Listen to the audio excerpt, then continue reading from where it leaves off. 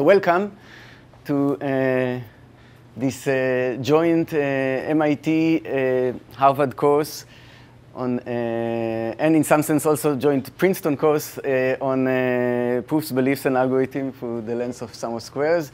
And Pablo and I will be giving the lecture, the lectures here, and probably Pablo is teaching another course, so probably I will the split will not be exactly 50-50. And because he's already used so much to teaching, he can teach all of the courses lectures here. the, the, the, the, marginal, the marginal cost for him is like less. So, um, and, um, and we share website, but at Princeton, I mean, at Princeton, they will uh, pro progress in their own uh, schedule. And and this, this is uh, the website, uh, if you haven't yet, uh, for the course. And we also, David and I are also writing some lecture notes that maybe eventually will turn into some monograph or something like that. And, uh, and, and these lecture notes are available on this, sumofsquares.org. And okay, um, so before we start you know, talking about actual uh, math, let me just do uh, talk a little bit about some administrative issues. So first of all, uh, so these are um, the instructors are me and Pablo. This is the website. The first thing you have to do is join Piazza if you haven't done so already. If uh, the way Piazza is set up, to, for you to sign up, for, uh, you can sign up without a Harvard email address. So if you don't have a Harvard email address, fill out that Google form, and then I'll, I, um, I go over there like uh, once every couple of days and the people that sign up in the, the form. So the times, uh, this, is, uh, this course is on Fridays, 10 a.m. till 1 p.m., and it will rotate between Harvard and MIT. The rotation will generally be one week here, one week there, but uh, because of various constraints, um, it might not always be exactly like that. So there is a Google Calendar um, on the website with exactly the location. In particular, apparently uh, MIT is its own different country and has its MIT holidays that I never heard about uh, before. So, uh, um, and, and, I guess we have to observe the MIT holidays as well. I'm still not sure exactly how you celebrate them, but uh, apparently one, one way you celebrate them is you don't have classes. So we will uh, probably want to do some makeup lectures. Uh, probably, to me, like one reasonable time that seems not to conflict uh, with other things would be maybe if we can't do a lecture on a Friday, do it maybe on, a, on the first day before that, 4 to 7 p.m. or something like that. That kind of would not conflict. But we, I'll run kind of a poll uh, to, to find times for these, uh, for these things. And um, okay, and what you need to do um, if you want to take this course uh, for credit, first of all, i am happy to have you show up regardless of whether you take it for credit or not. Um, I'm also very happy, uh, you know, to uh, have you uh, sign up to take it for credit. It will be nice if the, you know, the first joint MIT Harvard uh, theory course will not have like zero people involved in it. And uh, so, you know, it's a graduate class, the truth is I don't really care about uh, what grade, uh, uh, like about grades here. Uh, it's more about what you put in, what you put in it, into this class is what you'll get out of it. So basically, what you what you need to do is you know show up, you know read what I email in Piazza to read before each lecture. And the exercises will not have, we don't have TAs and will not have submissions exercises, but I would expect you to try to solve them on your own or with friends. You know, it doesn't have to be typed up, etc., because you're not submitting them. You can uh, just get, uh, you know, a bunch of friends over some uh, snacks or drinks and, and, go next to a whiteboard and try to solve, uh, or on a napkin and try to solve the exercises together. And please do participate in class and uh, in Piazza, I hope that uh, because you, you guys will be reading the lecture notes, before each lecture, we can have the lectures a little bit more of a discussion rather than just me, um, you know, talking at you. And, uh, and you can also discuss, uh, you can also discuss the homework and exercises uh, in the Piazza. Don't, don't hesitate to do that use just the same mechanism as you do when you do discuss, discuss a movie. If you're going to post about your solution, uh, just put spoiler alert. So if someone didn't yet do it and doesn't want to uh, the exercise to be ruined from them, they know not to read. So if you'll note that uh, basically um, uh, most of these things, like uh, reading and doing the exercises, I can't really verify that you did it. And like I said, it's a grad course. I don't really care. It's you'll get out of it what you put into it. I trust you that uh, you know um, if you take this course and then um, you know you'll follow along. So so it will be more beneficial for you. But um, yeah, so we're not going to have a lot of formal requirements. Um, it's more about learning, and um, and I hope that we'll all enjoy it. Okay, any questions about administrative stuff? Okay. So, um, okay, so let's start with the uh, course. Um, so, okay. So, what are the two most beautiful uh, words in, in, the English language? So, of course, there are free cookies, but apart from those two words, Um, the two most beautiful words uh, are like what what was exactly your first guess. You know, every every you know, if you ask a person on the on the street, they would tell you that the two most beautiful words in the English language are, of course, linear and convex. At least on the street here. so. So this is, of course, beautiful. When, when, when we have problems that are linear and convex, we can solve them, we are happy, and, uh, and, and, and that's what we like. But unfortunately, um, you know, the world is a cruel place, and um, and uh, where like we have these um, roaming these uh, ugly creatures of uh, you know non-convex and non-linear problems. And uh, in particular, almost every time we want to solve something in life, we actually encounter uh, non-convexity and non-linearity. So, you know, in optimization, we have these discrete problems. Um, you know, we are trying to find an actual uh, assignment. We, you know, we put, want to put something uh, in the knapsack. We are not, can often not break it in like, you know, in some part and put some part here and some part there. Um, in learning, machine learning, often the objectives are non-convex, like for example, um, in uh, trying to learn neural networks. Um, in control, I don't know much about it. Pablo is the expert, but I think that basically everything is nonlinear. Uh, we only have linear approximations, and they are not always so great. Um, so, so we have to deal with these nonlinearity and non-convexity. And, and we generally uh, cannot do so. We generally have, we believe that these problems, you know, um, they are NP hard, they're computationally hard, so, so we can't do it in general. And what we typically do it, we have various algorithms that we tailor to try to solve the particular problem at hand. So in theoretical computer science, for every different uh, discrete problem, um, there is, uh, you know, whether it's max cut or uh, bisection or um, or uh, sparse cut or uh, uh, whatever, um, also problems that don't involve graph and just escape me at the moment, uh, that um, for every kind of discrete problem, we have, you know, a, a paper saying, uh, here is this problem, here is the algorithm I give for it, and it gives these guarantees. Maybe it's an approximation algorithm if the problem is NP-hard, and maybe, you know, I improved the, the factor by something. And um, in uh, practice, people use various heuristics. So, you know, they have this uh, problem, they run a SAT solver, that SAT solver doesn't work, they try another SAT solver, they try to massage the problem. Uh, you know, in learning, they use, uh, you know, this kind of gradient descent and that kind of gradient descent. And uh, so basically, um, we try to, um, you know, because we can't solve the problems in generality, we kind of try to, for every different uh, instance, try to do um, the best we can uh, for that particular instance.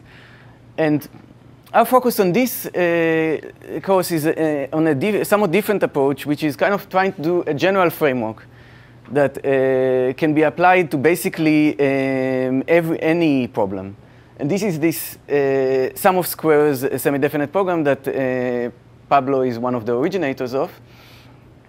And uh, the advantage for that is, first of all, it's really apply, can apply uh, applicable essentially to any problem. You, you, there are some sometimes it's not always canonical how you phrase the problem in the form that you can run the sum of squares um, semi-definite program on it, but we'll get to that. And um, because it's, apply, it's applicable to any problem, and some of these problems are computationally hard, it will not always work. And um, to be more accurate, it will always work, but uh, it might take a lo very long time. So if you give it a finite uh, time budget, then it will not always succeed. But the interesting thing is that often uh, within that budget, we don't know of any other algorithm that does significantly better. So often, even though it's a very general framework that apparently doesn't try to do all the uh, ad hoc tricks that people apply to particular problems, often it achieves the same results that you would achieve when you have a tailor-made algorithm. And a nice thing that I particularly like about this is that even when it doesn't work, even when it fails, you can look at the state of this uh, algorithm and uh, try to extract from it some kind of partial knowledge about the solution that it failed to recover. Any more questions? Any? Okay. Uh, so that's um, one, one answer that will be meaningless right now is this notion of pseudo distribution, but will um, uh, hopefully by the end of, uh, you know, by 1 p.m. it will not be meaningless. So let me give kind of an abbreviated history of these sum of squares. Uh, I guess you've all read the, introduction uh, that I uh, posted online, so you kind of know it, but it doesn't hurt to repeat it. So um, the, the, two tasks that are the, the, two tasks that are very very related to one another. One is you know you're given some function f, you want to find uh, over some domain omega. You're trying to find the x that minimizes it either compute the minimum value or uh, find the actual minimizer x. We are not going to distinguish so much between these two variants. And uh, the, the second type of uh, problem is to show that, uh, to, to certify that the minimum is not too small, to give, uh, to give some bound uh, that the minimum is at least something. And these are kind of two uh, dual problems. Ideally, um, you know, if the actual minimum of f is alpha star, then you are able to do both things. You are able to find the x star that achieves alpha star and to certify that uh, it is actually the global minimum in the sense that uh, certify that fx is at least alpha star for every x. So those are kind of two general problems that we always want to solve. And around the turn of the 20th century, people uh, looked at uh, the particular case where f is a polynomial and omega is just, um, you know, uh, Rn. Uh, so it's an n-variate polynomials over the, over the reals. And Minkowski asked the question, I think around the 1890s, if you can always certify, for example, let's just assume that alpha is zero, can you always certify that fx is uh, non-negative uh, by writing f as a sum of squares of other polynomials? And I think in his PhD thesis, uh, Hilbert shows that the answer is no. And in fact, he even gave kind of a characterization exactly how many variables and what degree uh, you can do it and when you can't do it. Uh, so generally, um, you can do it if the polynomial is at most quadratic or if it has at, uh, at most uh, two variables. And in fact, uh, it took a long time. Uh, so Hilbert gave kind of a non-constructive counterexample to this, uh, this question, and it took a long time for people to find a constructive counterexample, and this was by Motzkin, I guess like 70 years later. And um, this polynomial is always non-negative because of the arithmetic mean, ge geometric mean inequality. Um, you can see it easier if you divide by three, then the first three terms are the are, um, if you, if you look at the geometric mean of this, this, and this, you get this. Right? So, uh, so this polynomial is always non-negative, but uh, it's not a sum of squares. However, um, Hilbert uh, asked, uh, this polynomial happens to be like a sum of uh, squares of uh, rational functions, and um, and Hilbert generally uh, uh, predicted that maybe, uh, maybe for every polynomial that is non-negative, you can write it as a sum of squares of rational functions.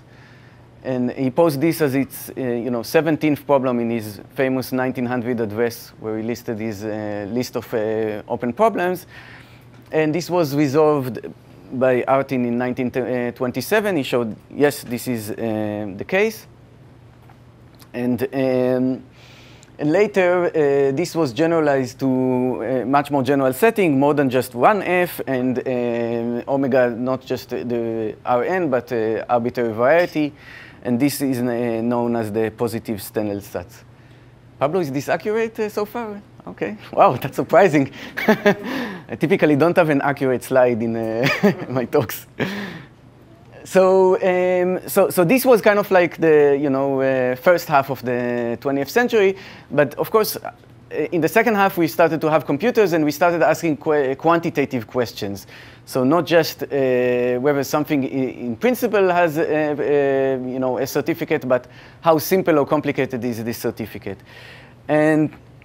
And, and different people approach this problem from different angles. So on the proof side, Vorobiev and Grigoriev uh, in 99, they, suggested to measure the complexity of these of uh, proofs of this form of like say sum of squares of rational functions or some more general things by the maximum degree that appears there. Um, and uh, Grigoriev showed that uh, this maximum degree can be linear in the number of variables for uh, problems like 3XOR and knapsack. And we'll see that for these kind of Boolean problems, this is actually the best. And um, and uh, on the algorithm side, uh, even before them, uh, Naum Shor uh, showed that uh, uh, gave an n to the O of the algorithm for finding degree D proofs in some restricted setting. And this was extended to the much more general setting by Pablo and Lasserre. And um, so basically, they show that when there is a degree D proof, you can find it in n to the D time. And these guys showed that sometimes D can be large, so sometimes this can be exponential, but sometimes can, um, they can also be small. And the typical kind of question we ask is the following. So suppose this is the true, the true answer. The minimum is really alpha star. So we can ask, what's the, sim, uh, the smallest D star so that we can certify with a degree D. Notice I know that I still didn't define what a degree D sum of squares proof is, and we'll get to that. But uh, we will define it, and then we'll give this, this notation. Uh, so what is the smallest degree, like the, like the simplest, uh, the shortest proof, if you can think of it, that certifies the true bound, that certifies that f is really um, larger, uh, larger than alpha star.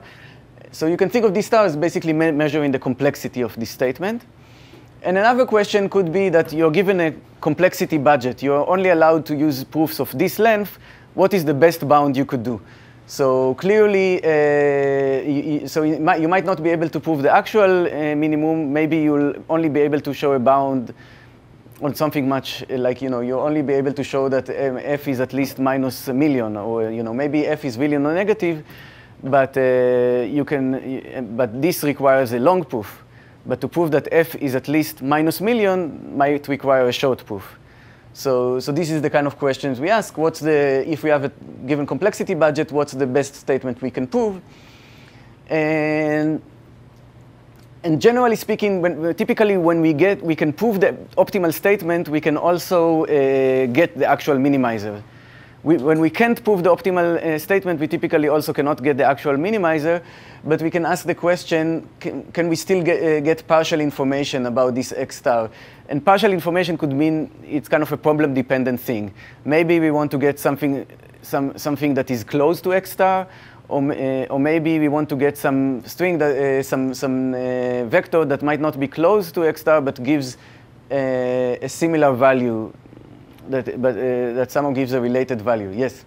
Sorry, what is the symbol again? The double. This. Yeah. Yes. So that symbol we haven't yet formally defined it, but what it will mean is that you can cert- prove this thing by a, a degree d sum of squares proof. So for now, even think of it that it means that uh, you know f minus alpha to the d is like a sum of squares of degree d polynomials or rational functions. But later we'll kind of make it more more formal.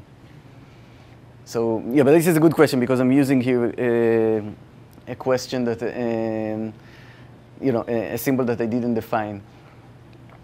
And so basically, um, so this is kind of the high level uh, questions of, the, of this research. So the, uh, um, and we are um, going to uh, move to the whiteboard soon and, and uh, do, you know, start doing actual math. But uh, any other questions at this point? Yes? Sorry, you say you measure complexity with a maximum degree? Yes. Not with the number of rational functions you need. Yes, that's uh, the, the next, uh, what, uh, one of the first thing we'll do, um, or, um, or maybe one of the first thing you'll do, because I think it will be actually an exercise, is to show that, uh, um, well, we'll actually work with polynomials, but modulo some ideal, but uh, what we'll show is that you don't need, if the degree is bounded, you also don't need too many of those. So, but that, that's something that needs to be proven. So, um, So I guess we'll um, move to the whiteboard. So we can. Uh, how do you turn on the lights here? Oh, Ah, and this. Ah, this. And uh, maybe this. Ah, okay. Very good. So I should probably take my notes so I know what I'm talking about. Okay. What? Ah, yes, yes.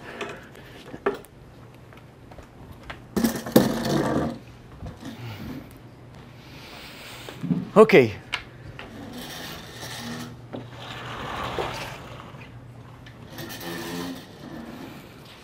Okay, so now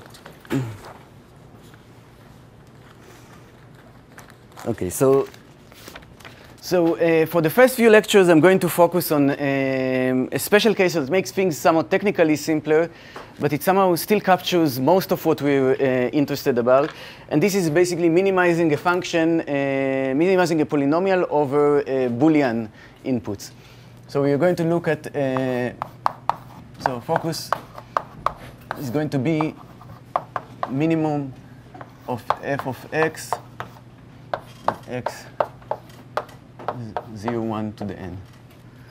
So this captures many uh, combinatorial problems. You can, you know, present um, problems like uh, 3-sat, uh, max-cut, um, um, and, and, various other problems uh, you can present in this uh, in this uh, in this way. And um, and now I'm going to uh, basically define, uh, define this thing that I didn't define before. We, we say the following thing, um, that uh, let's say the, the statement uh, has a degree D SOS proof, which will denote by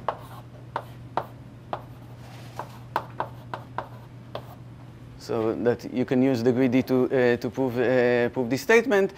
Uh, if uh, the following holds, there are uh, just polynomials, P1 till Pm,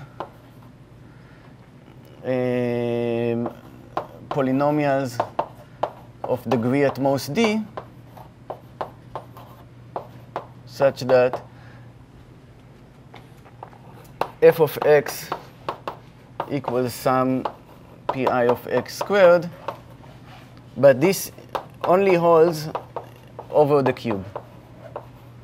So, so this is uh, this is uh, not exactly the same as uh, the uh, you know the uh, Minkowski's question, because we don't want we don't we don't need this, uh, and we generally only ask this about functions that themselves have degree at most d. Let's say. typically the functions we are talking about will have like this say degree at most 10. So, uh, so notice that we don't, uh, we, we, don't uh, ask that f is equal to sum of pi squared as a polynomial in n real variables. We only ask that uh, f equals to uh, sum of pi squared uh, over the cube. But this is clearly enough to certify that f is non-negative over the cube. Okay?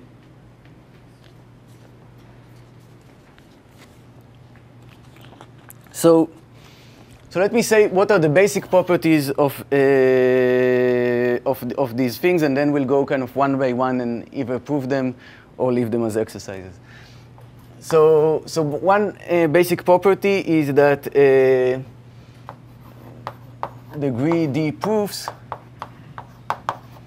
have at most n to the O of D numbers in them. So, um, so basically what this means is that even though a priori I didn't uh, bound M, you never need more than, uh, clearly every polynomial of degree, um, every polynomial of degree D has at most n to the D coefficients. Um, and, uh, and what this says is that basically you don't need more than uh, n to the O of the polynomials. That if there is a degree D proof, you, can, you need at most uh, n to the D polynomials. Now, if you want to properly count length of proofs, you have to also worry about bit representations, but we'll kind of ignore these issues, at least for the beginning of this course. Maybe uh, most of the time they can be safely ignored, um, especially if you are not you know, if you don't really care about the difference between certifying that f is uh, non-negative and f is at least minus epsilon. But um, so we'll kind of uh, ignore it. The second thing is that we can uh, check uh, a degree D proof in n to the O of D time. This is not immediately obvious because this is a statement that uh, a priori you need to check 2 to the n inputs to, to verify, but we'll see that you, you can actually efficiently check it. And the, the third thing, which is more surprising, this is basically this uh, um, a, a, restricted version of this uh, sum of squares algorithm, is that you can actually find the degree D proof in n to the O of d time. So not only can you check it, you can even find it. Uh, yes? When you talk about degree, is it total degree of a monomial or the maximum degree of any variable in a monomial? It's the maximum degree of any, uh, any monomial. The sum of any monomial. So of any monomial, yes. X times Y, is that degree 2, two or degree It's degree 2. Cool. X times Y is degree 2, yes. Uh, yes. Um, property 4 is uh, that um, if f is actually non-negative, again, we are only over the cube here, so I'm not going to write it uh, uh, every time, then you can always prove this fact with degree at most uh, 2n. So you never mo need more than uh, 2n degree which if you think about it in light of what's above, it kind of makes sense because you, if f is non-negative, you never need more than 2 to the n time to, uh, to verify that.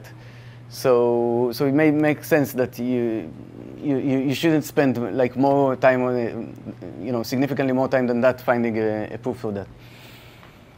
And and then, uh, yeah, and, and, and, but what we show is that sometimes we can show, uh, you know, we, we, can, we can certify this kind of thing with, you know, d much, much smaller than n.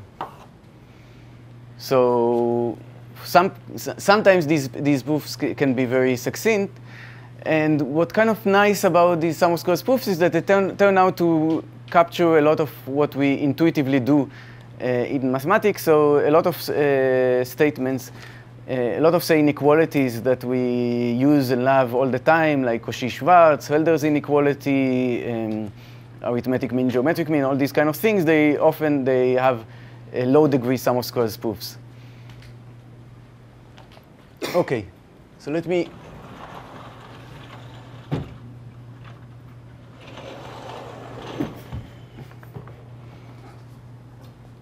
So let me go over these properties. So basically, um,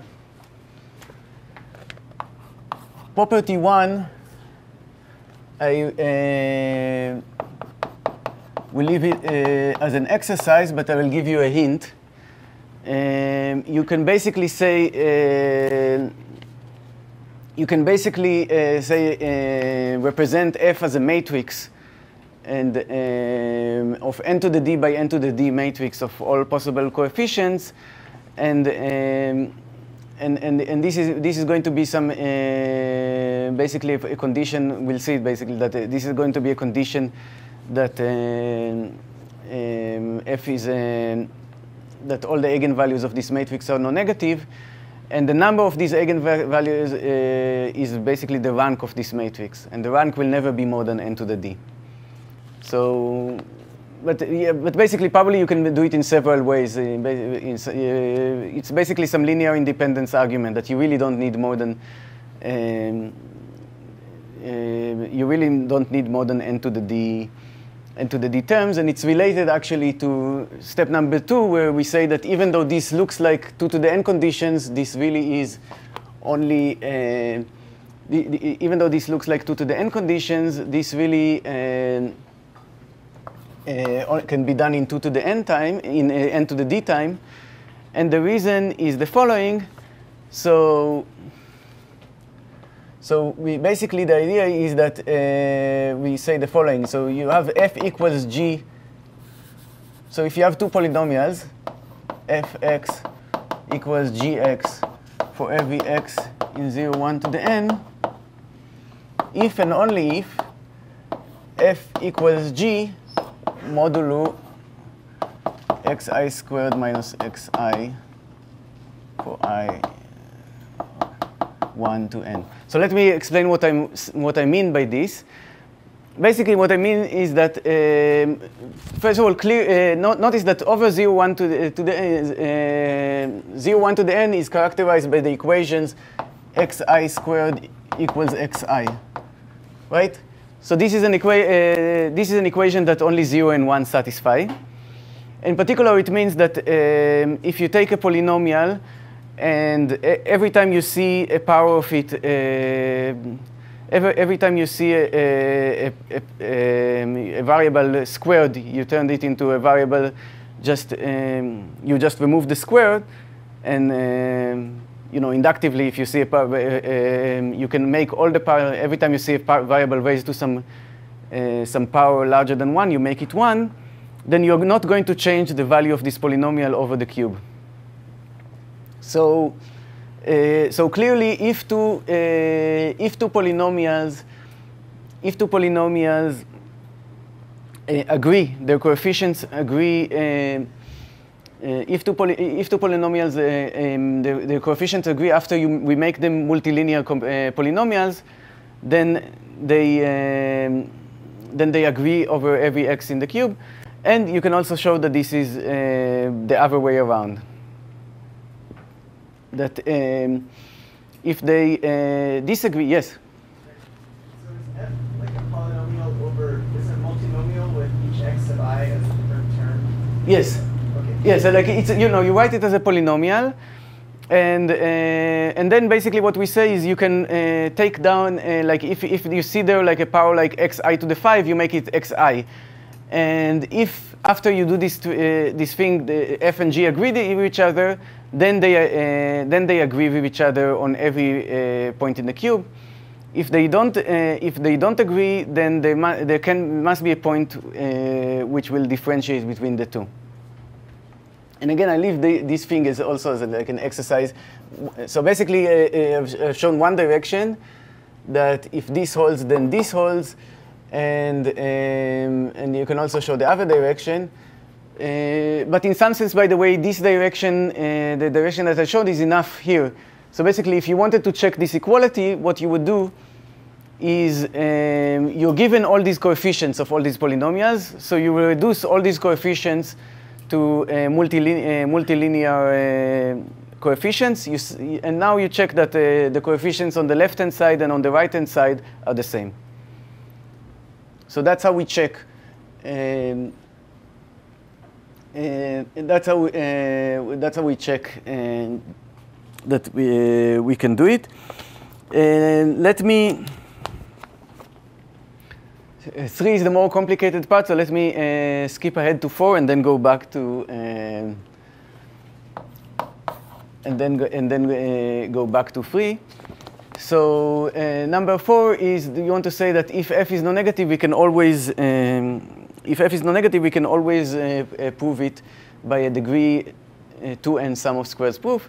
And the idea is the following. We write the following, define the following polynomial. Suppose fx is non-negative for every x.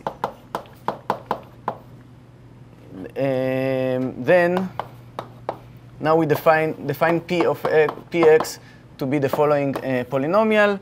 You sum over uh, all y 0, 1 to the n, square root f y uh, is pi i from 1 to n, 1 minus xi minus yi uh, plus 2xy, I think, xi, y. Okay, so let's uh, um, pass this. So p of x is a polynomial in x. And uh, let's try to understand what p of x does. Uh, so p of x is a polynomial in x. It's of degree, you know, this is linear, so if it's, it's of degree at most n. And let's try to parse uh, what it does. So basically, um, for every, we, we run this over all y's. For every particular y, if one of the xi's is different from one of the yi's, say, for example, if xi is 0 and yi is 1, then this thing will be 0, and uh, this thing will be 1 minus 1, so uh, this whole term will vanish. The only, uh, the only case where this, this, doesn't vanish is when x, uh, uh, x uh, equals y. So basically what we get is that p of x will equal square root of f of x. So, so p of x is a polynomial of degree at most n that equals uh, square root of f of x. So another way to say it is that f equals p squared as a polynomial uh, over the cube. Yes? We have, a, we have an example which we require degree 2 and on? So we do have examples we'll, we'll see later. Uh, yeah, but I can even give you like now an example that requires, I don't know if 2n, but let's say n over 10 or something like that. And this is the following polynomial. Suppose uh, n is odd. And define f of x equals uh, sum xi minus n over t, n over 2 uh, squared uh, minus, uh, I don't know, 110 for whatever. Um, or maybe even this, but maybe even this, just this polynomial. Um, um, this polynomial is, uh, okay, we, we, want to show that it's not negative, so let's make it minus one tenth. Okay, so this polynomial is, uh, th this polynomial, because n is odd, and you can never get to n over 2, right? The, the closest you can be here is half, and then you'll get here a quarter. So this polynomial is always at least, um, you know, a quarter minus one-tenth, uh, which is, you know, it's calculable by someone. Uh, and, uh, but it's a positive number. And uh, so this polynomial is positive over the cube, but uh, Grigoriev showed that, uh, the, that it requires degree a, constant times n to certify this fact. So this is like a, a nice example uh, of that. Notice that its polynomial is uh, arguably, I mean, it's a, um, if if we change this one tenth to uh, you know uh, so we can easily certify that this polynomial, you know, is at most, um, um, you know, is at most minus one tenth in this case. So generally, like we could put here one quarter, it's at most minus one quarter. So in some sense, this is one of the, those cases where uh, it takes degree n to certify a certain bound. But if you wanted to modify this bound by a little, which is you know, a, a constant is relatively small compared to the sum of coefficients of this polynomial, which is n, then uh, then you could get a bound with you know very very small degree, but at the cost of getting somewhat weaker bound. So. So this example somewhat demonstrates both sides. The, first of all, that sometimes you require 2n, and sometimes you can do much better. Yes? For a random function, what what is the thing? So, So so if I take a random function and this is non-negative or hypercube, can I say that it requires So, so random function is a little bit complicated because we kind of want low degree uh, functions. In some sense, uh, in, uh, we, kind of want uh, low degree functions, but in some sense, we, we, one of the answers is what, that we simply don't know. So here is like a, a, an open question. So suppose f is a random, I don't know, degree 4 polynomial.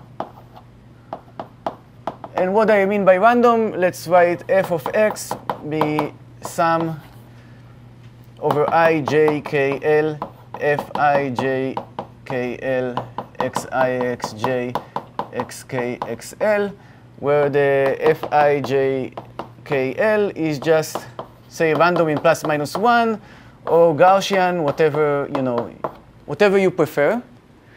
And let's write this uh, now.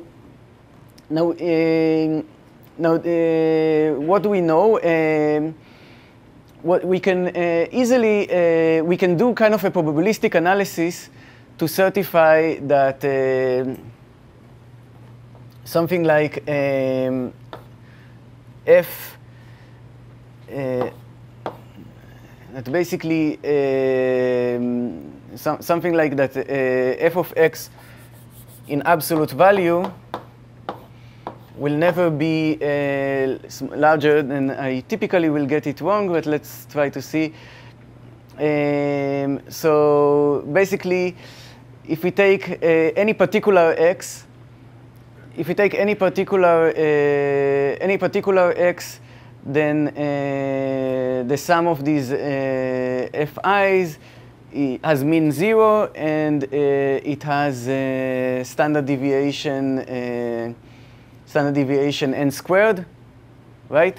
So, uh, and there are 2 to the n x's, so you'd expect like uh, square root n standard deviations, right? So you, it will be kind of like O tilde n to the 2.5, I think, right? That's the, the, the true maximum of the f of x on, a- on all the x's. Because you kind of expect that there would be at most um, the, the, the worst x would, be, would kind of uh, make it like square root n standard deviations because this will be like 2 to the minus n probability. And so this we kind of know this to be true. So for example, you can write f of x, um, f of x um, plus, uh, you know, something uh, like, I don't know, n to the 2.51, that will be a non-negative polynomial, but we don't know, um, we don't know what's the best bound we can certify. So this is, uh, we have some weaker bounds, uh, we, we have some weaker bounds, uh, like n, n cubed, I think we can certify with uh, like a degree four sum of squares proof, but we don't know, kind of don't know what the answer is, uh, at least not in general. So, so even this basic question, which in some sense, it's one of the first questions uh, like a smart student will ask, uh, you know, in a, when, when seeing this thing, we still uh, don't know how to fully answer, which is uh, why I think it's a very nice uh, research area. So,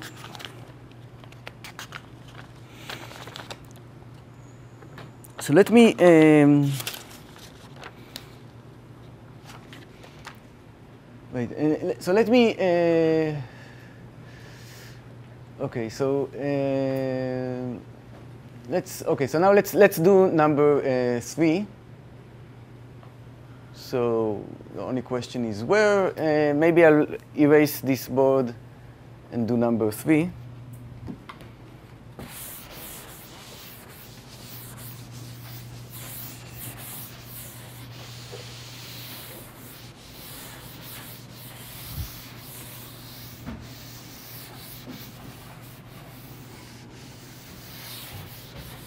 Okay, so let's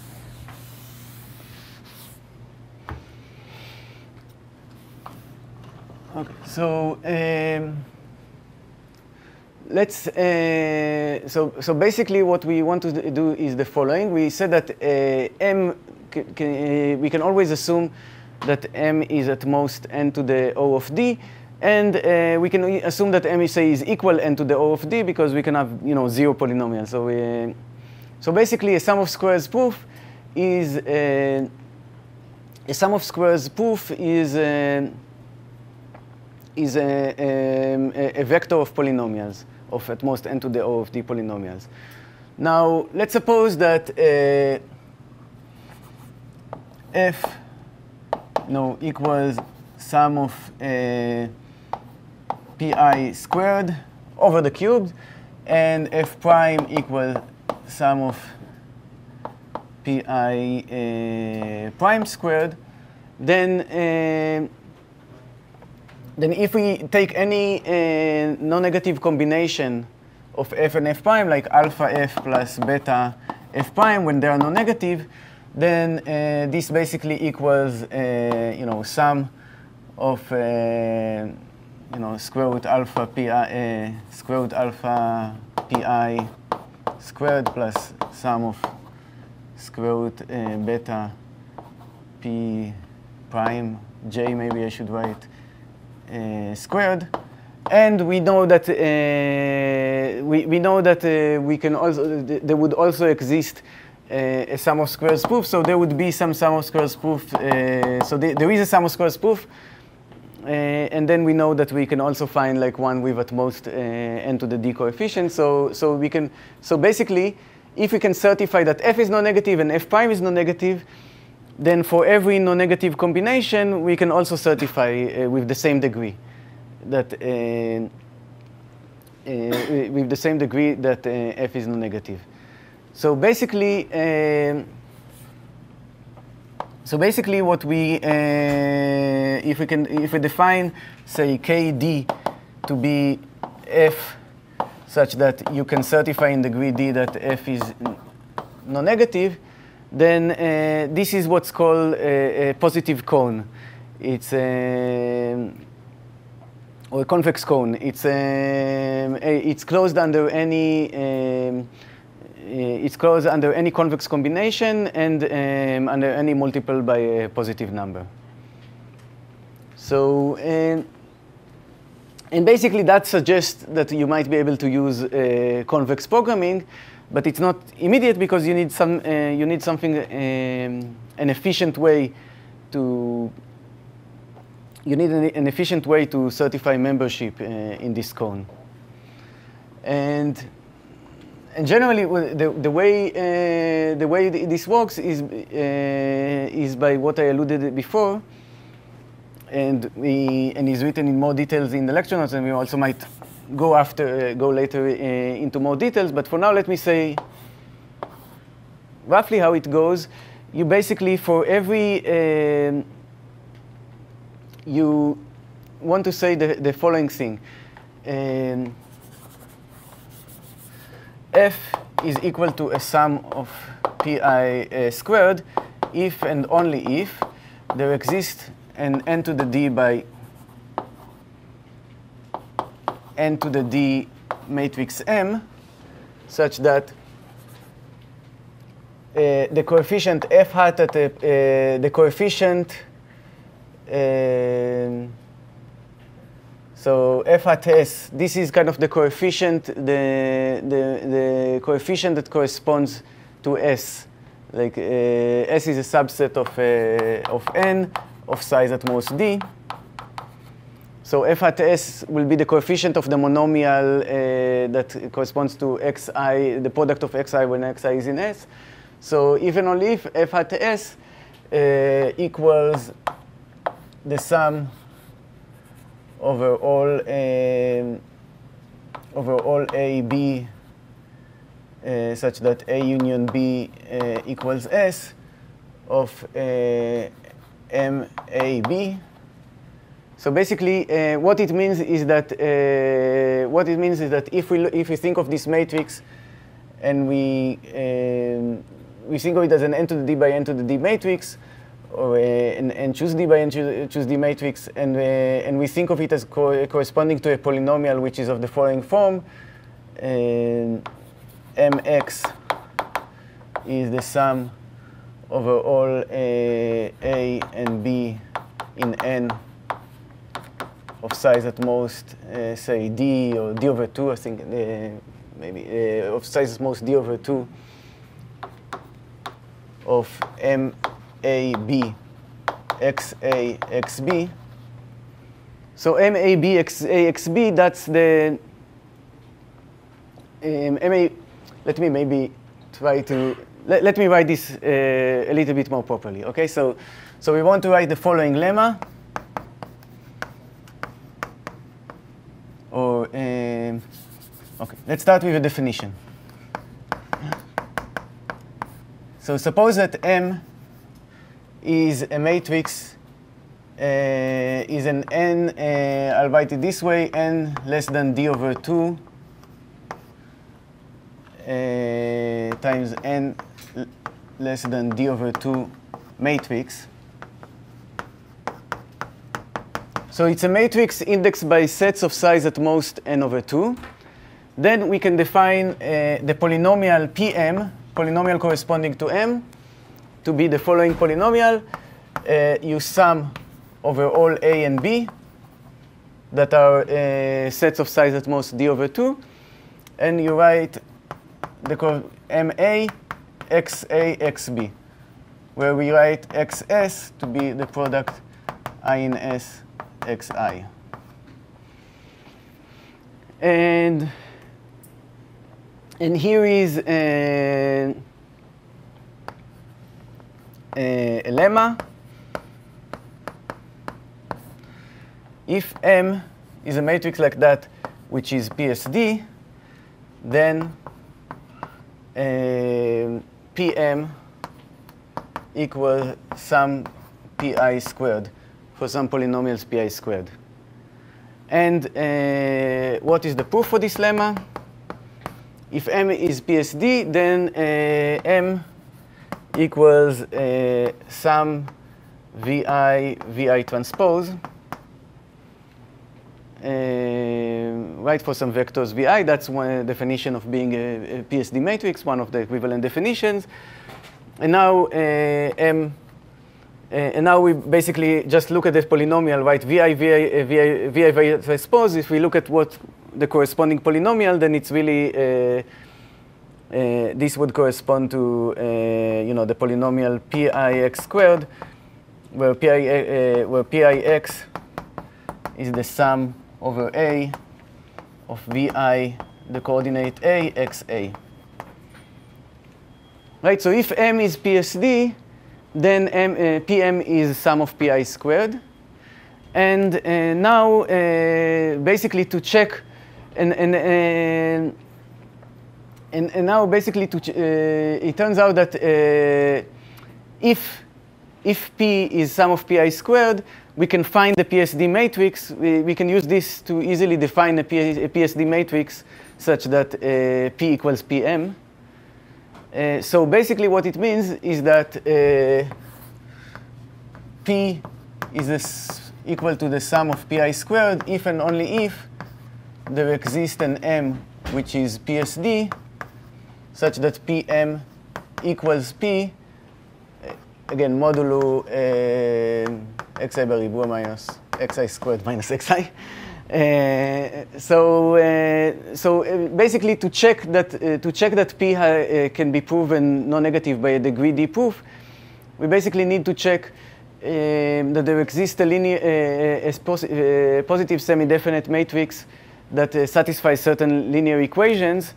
and this is something, uh, this is not just a convex program, but in fact a convex program that we can do efficiently. So um, so this is what's known as semi-definite programming.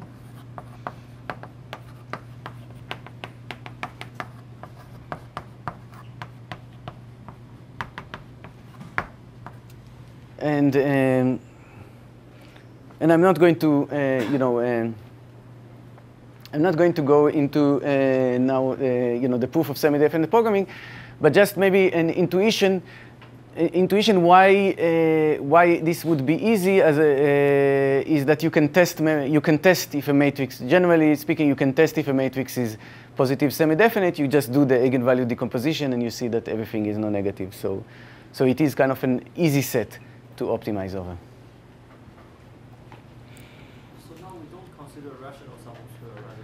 Right, so now when we are working in this kind of Boolean thing, we, uh, we're not considering rational sum of squares, but we, we do have the power.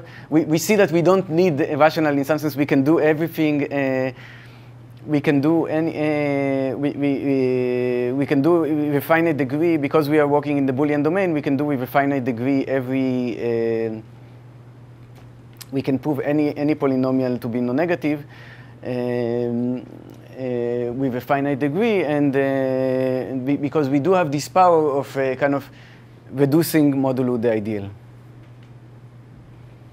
But, um,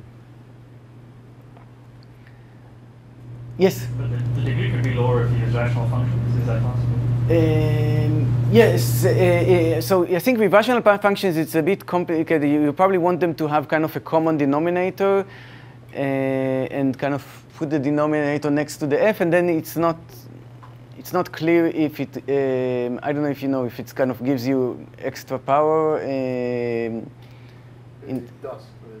Putting. I mean, in the unconstrained situation, right? Right. Right? Yeah, but on the cube, I don't know if it's no. The no, cube, the cube it doesn't. Uh, yeah, I don't think it's. Uh, know about it. So Tuesday 4 p.m. I'm going to give a high-level talk uh, about sum of squares and particularly the Bayesian interpretation of it. Uh, so that would be somewhat of a more, of a more philosophical, uh, high-level talk.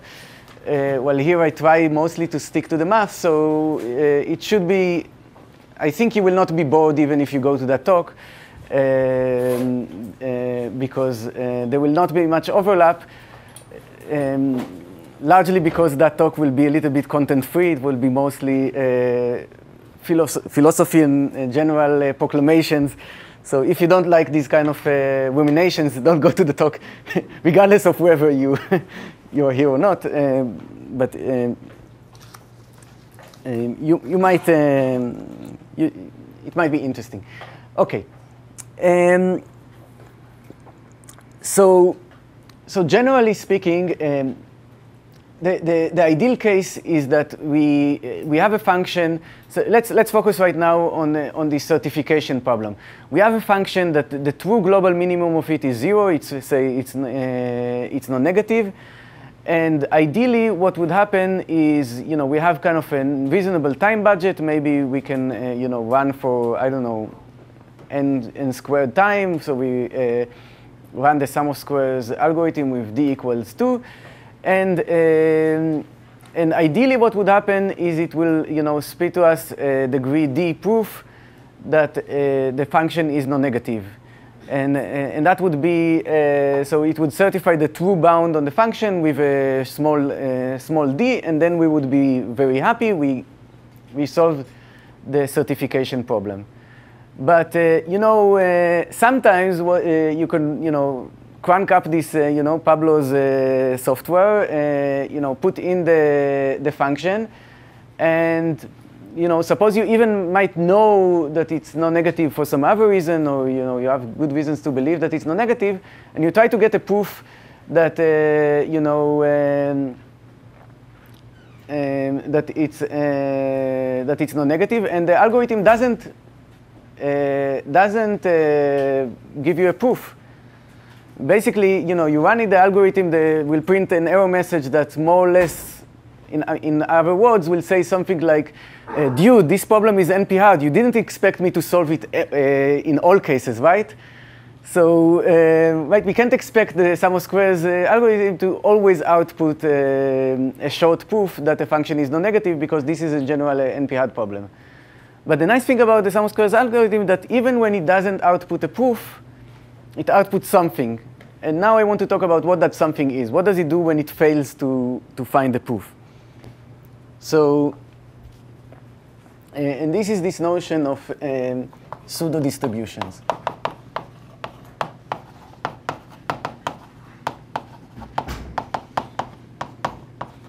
So, so what does it mean that we, it fails to fi uh, find a proof? So, uh, a proof? So we basically said that we have this set.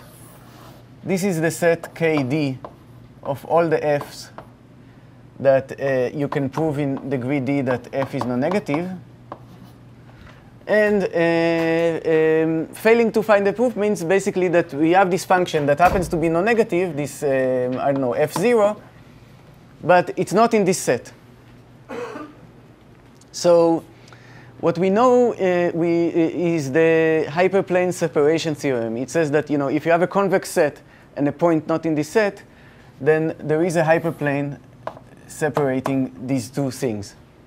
So what is, uh, what is the space? Just kind of remember what, what is the space we live in. We, we live in the space of all functions from 0, 1 to the n to r. Or in other words, we live in 2 to the n dimensional space. And um, so a hyperplane like that, what, uh, uh, basically what it means is that uh, by the hyperplane separation theorem, what we know is that there exists some mu from 0, 1 to the n to r, such that um, the dot product of mu and uh, f is non-negative for every f in kd, but the dot product of mu and f0 uh, is negative. And uh, one of the functions that is in KD is the all ones function. Uh, we can, without loss of generality, assume that mu, uh, the dot product of mu with the all ones function is equal to 1. Okay? So generally speaking, because it's a convex, uh, by a kind of co uh, convex duality, the sum of squares algorithm, when it doesn't uh, give you an, a, a, proof, it gives you this certificate that f0 is not, does not have a proof, and that certificate is simply this mu. So, so you either get out, um, so you either get, get a, a proof that uh, f is non-negative, or uh, this mu that certifies that uh, f doesn't have a degree d proof that uh, it's non-negative. And basically, um, and, and this is what we call a pseudo distribution. Now let me try to um, let me try to um, motivate this name pseudo distribution a bit more. So let's define. So we define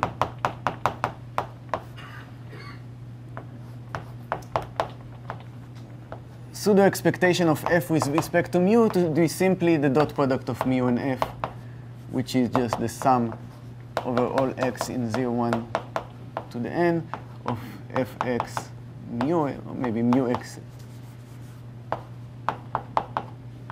f of x. So I define this to be the pseudo expectation of, uh, of f with respect to mu. Notice that if mu was an actual probability measure, this would be the expectation of f according to this probability measure. And now we define mu uh, is uh, degree d pseudo distribution if uh, pseudo expectation of 1 is 1 and pseudo expectation of p squared is non-negative for every uh, p of degree at most d over 2. Okay, so uh, so basically we want to say that mu is a pseudo distribution of degree d if uh, you know it satisfies these two things, and and um, right now it's just you know a definition. Why why do I call it a pseudo distribution? So first of all, notice that. Um, one, one missing thing that I didn't uh, re require is that mu of x is non-negative for every x. Now, if mu of x was non-negative for every x, then basically it would just basically mean that it's, a, it's an actual distribution, right? It will, uh, it sums up to one. Uh, uh it's non-negative numbers. It's an actual distribution. If it was an actual distribution, then uh, in uh, particular, the expectation of any square would be non-negative. So, so it's very simple uh, fact.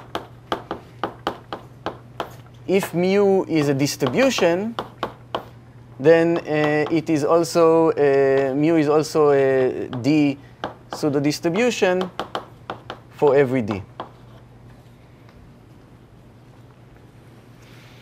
Um, so this is one fact.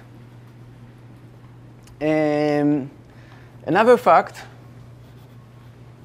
should, uh, that um, some, uh, that you, you can have some weak kind of corollary, and the following, uh, this is fact two. If mu is a degree 2n pseudo, uh, pseudo distribution, then mu is an actual distribution. And the proof of that is the following.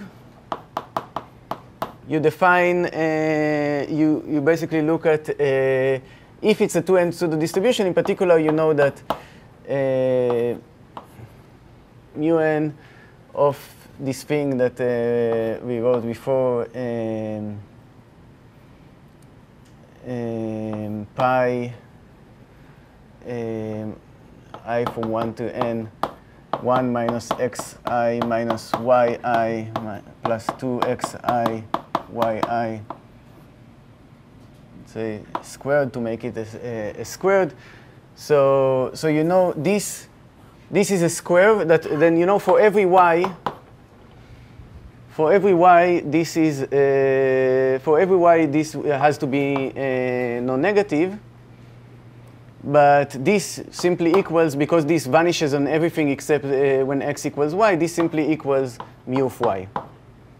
So you get so basically, if it's a degree 2n pseudo distribution, then it has to be non-negative on every uh, on every y, and if it has to be non-negative on every y, then then it is an actual distribution.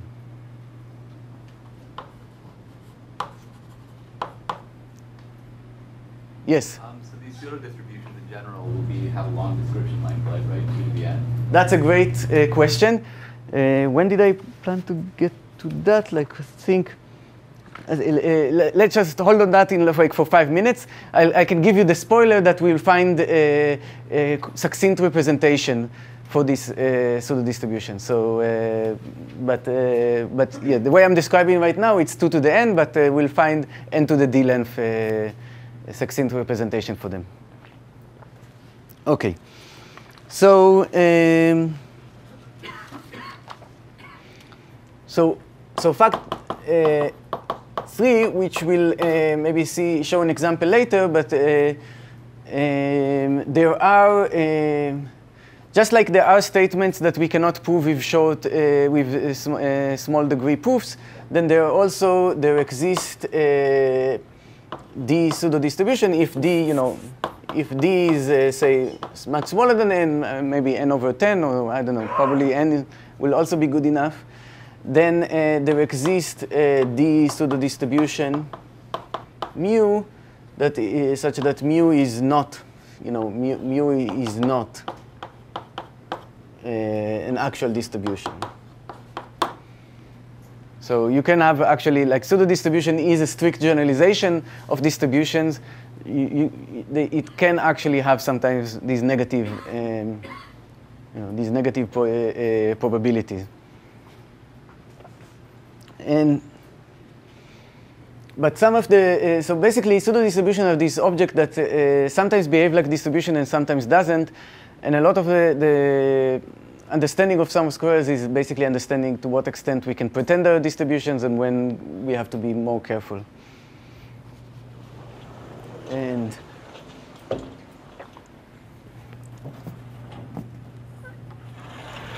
so now let's Uh, and now let's talk about this notion of succinct uh, representation. For this, I'll make another uh, definition.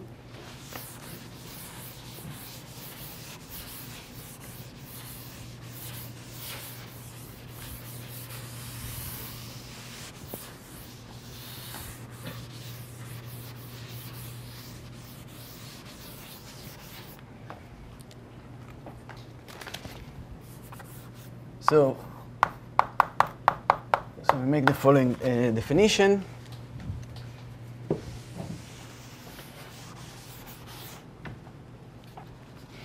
So let's just say, uh, let's write PD, the uh, polynomials, you know, from 0, 1 to the n to r of degree at most d, So we can think of PD as, you know, as it's basically, we can almost, we can almost think of it as the same as R n to the D or something like that, or n choose D, or something along those lines.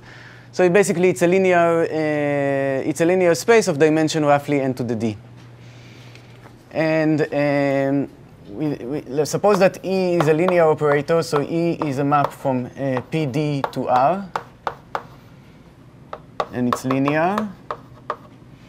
And we say that uh, it is a degree D pseudo expectation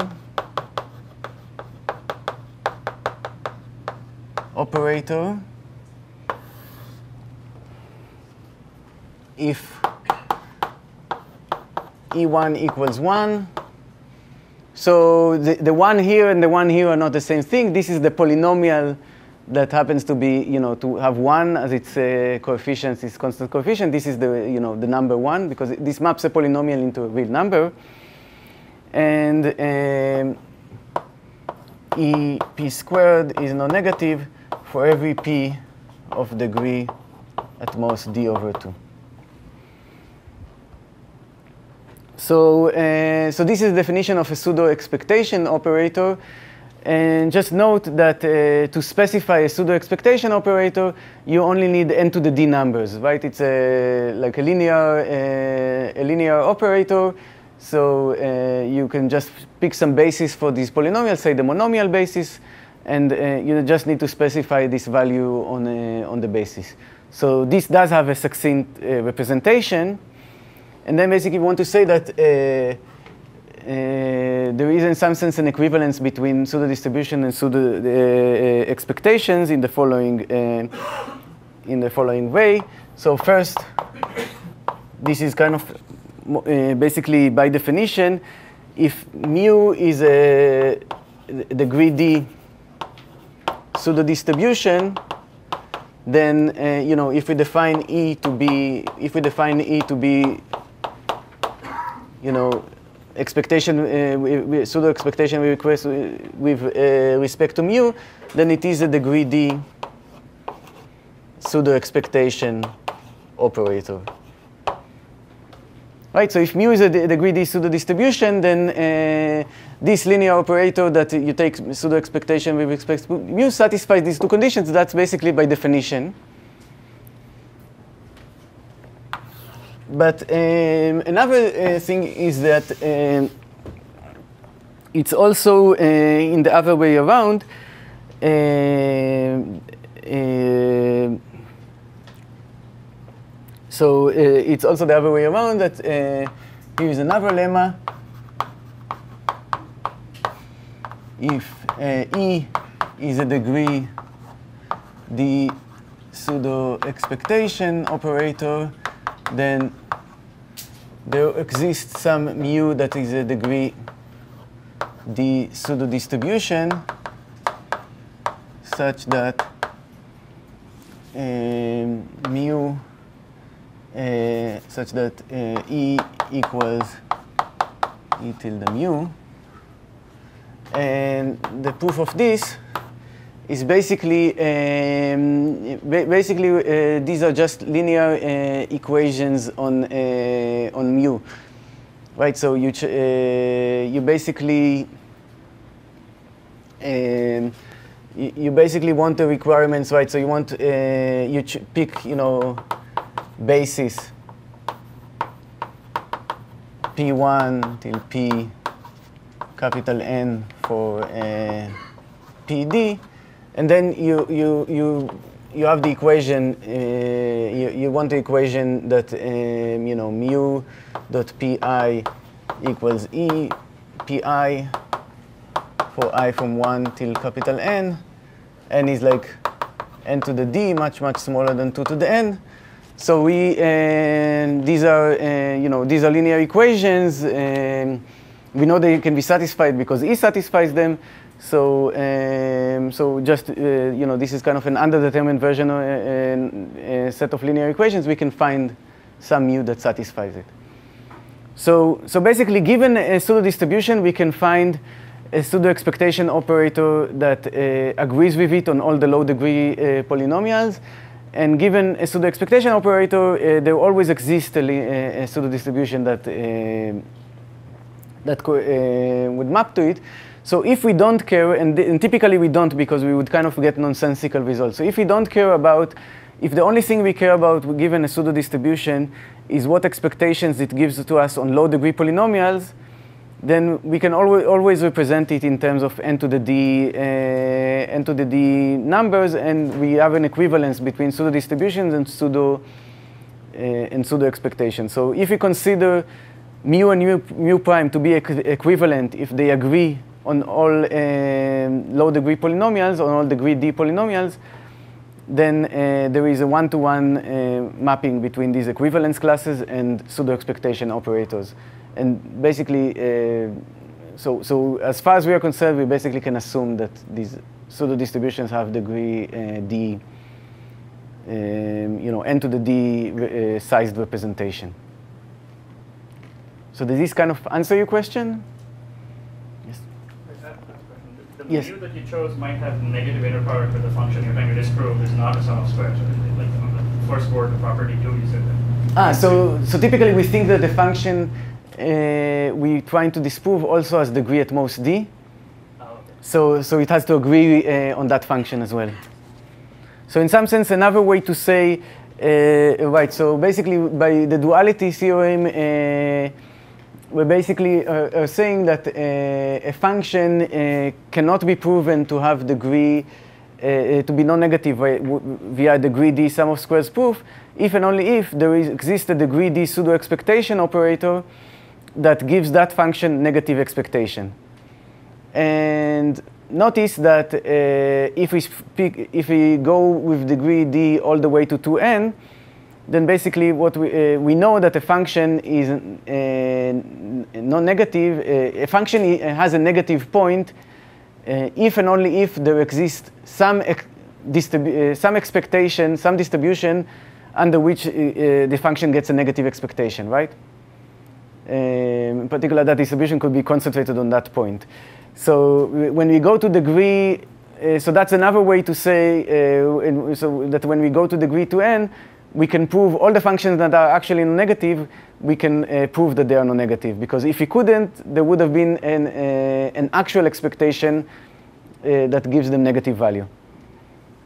But um, when a function, uh, what you can think is that, uh, you know, if a function is non-negative but it doesn't have a small degree, you can think of it as being kind of sneakily non, uh, negative. It, it has some negative points, but they're kind of uh, or so, uh, sorry, if a function is um, you know negative, but it doesn't have a, a, proof of that, then in some sense, uh, yeah. So, so in, in some sense, uh, yeah, it's hard for us to certify it. So as far, so in, in truth, there are no, no there are no negative points.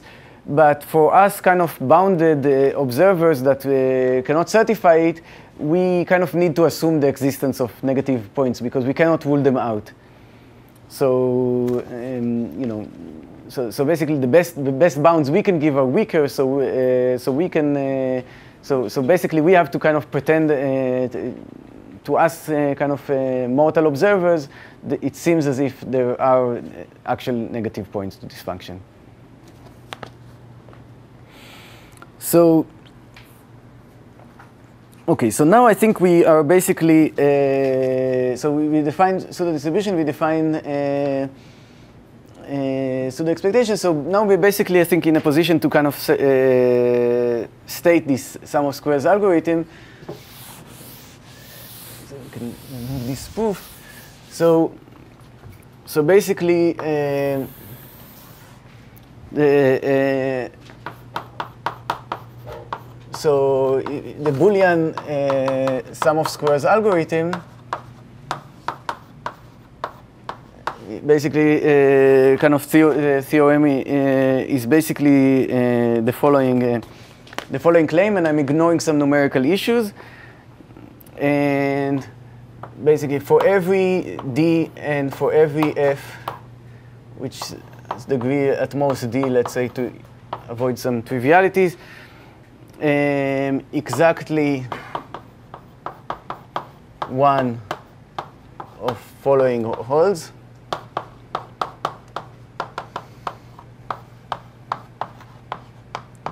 So either you can prove with degree d sum of squares that f is non-negative, or um, or um, there exists a degree d pseudo distribution mu such that it gives it negative expectation, and moreover can you know find one or two, depending on which one is the truth, in uh, n to the o of d time. And generally, to make this an actual theorem, um, you know, the, the, real theorem, you will need here maybe, you know, put here some. Uh, uh, you you will want to say that uh, you know if if you cannot certify that it is at least minus epsilon, then you can find um, a pseudo expectation that gives it uh, at most, uh, you know, maybe plus epsilon for arbitrarily small epsilon, and uh, have some dependence on, you know, the coefficients of this polynomial and some other, but, uh, but uh, you know, let's ignore these issues of kind of numerical accuracy and morally speaking, uh, most of the times we can pretend this is true as stated.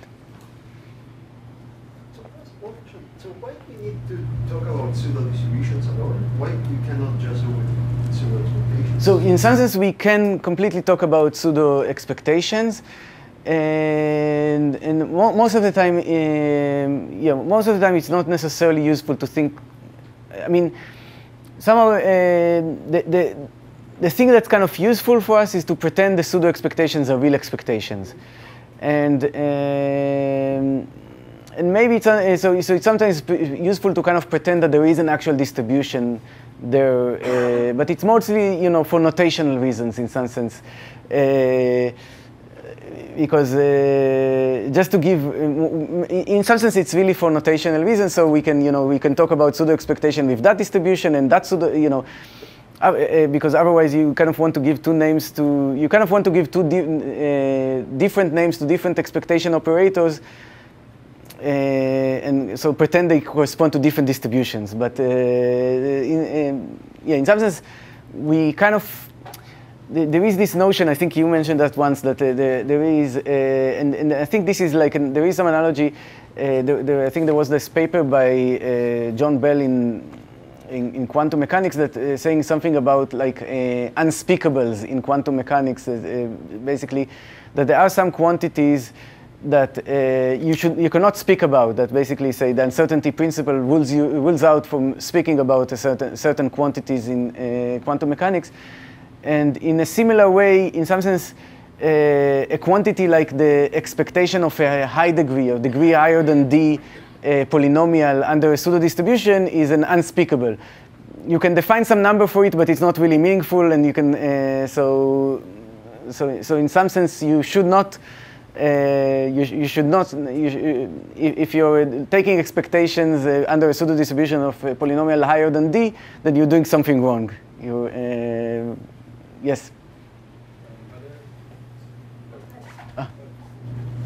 Oh, um, so based on that, I was kind of wondering, um, in, in the practical sense, do you basically think of pseudo distributions and rescale it to positive? So, so again, like. So, uh, I guess more practically, yes. when you're thinking about pseudo definitions, can you rescale it to make it positive? So, so typically, okay, so that, that's that's that's a, a, very good question. In some sense, that's basically the. Uh, in some sense, the next thing I, I, um, I, was going to say, what do we do in practice when we're given this pseudo distribution?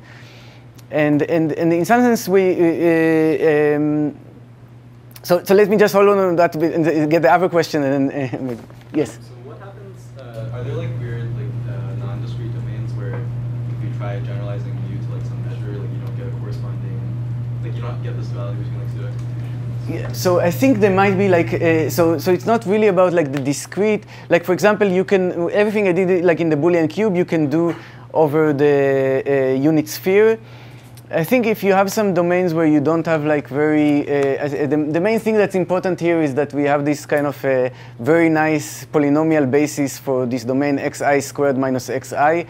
Uh, when we don't have that, uh, some weirder things could happen, but we can then, th at that point, we basically do what Pablo says. We forget about pseudo distribution, we just talk about pseudo expectations. Um, so we, because we don't have a good, we don't necessarily always have like a nice way to define pseudo distributions. Uh, so in some sense, maybe pseudo distributions are like just a mental uh, crutch. Uh, so feel free, to, if, if it hurts you more than it helps you, you know, feel free to go without. So, so given uh, expectation, can we distinguish it comes from a real distribution or pseudo distribution? That, that's a, a, a, another great question. Let me give also the, like, we'll talk about it, but let me give the spoiler that the answer is no.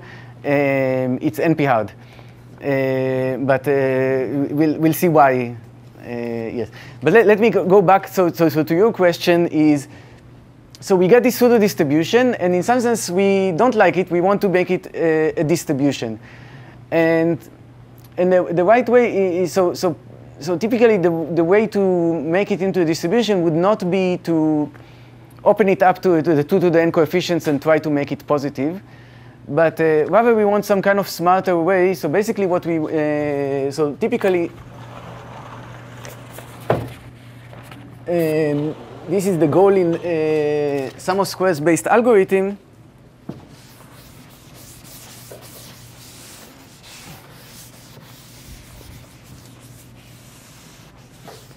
Um, so typically, the goal in you know if you have sum of, of squares based algorithm suppose you're now you, you, suppose you're looking now not at the uh, uh, you, are looking not at the uh, task of certifying that f is uh, you know at least non-negative. You want to look at the task of actually finding the minimum element of f.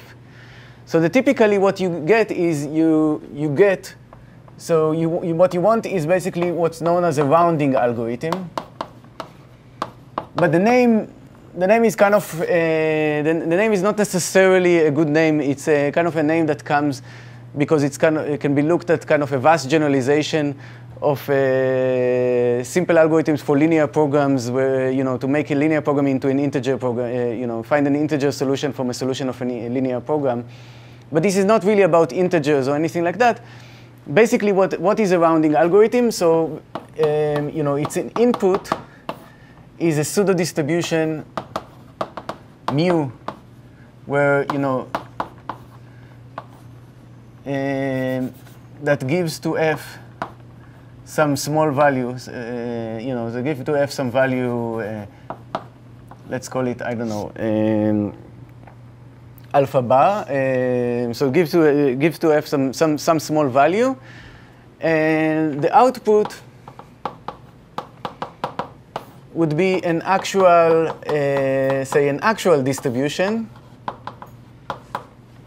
And let's call it, I don't know, rho, such that, uh, you know, expectation with rho of uh, uh f is at most uh, alpha, uh,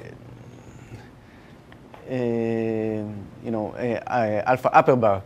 And basically, some, some sense, the integrality gap is basically this difference. So, uh, so basically, uh, you, your goal is to try to find the minimizer.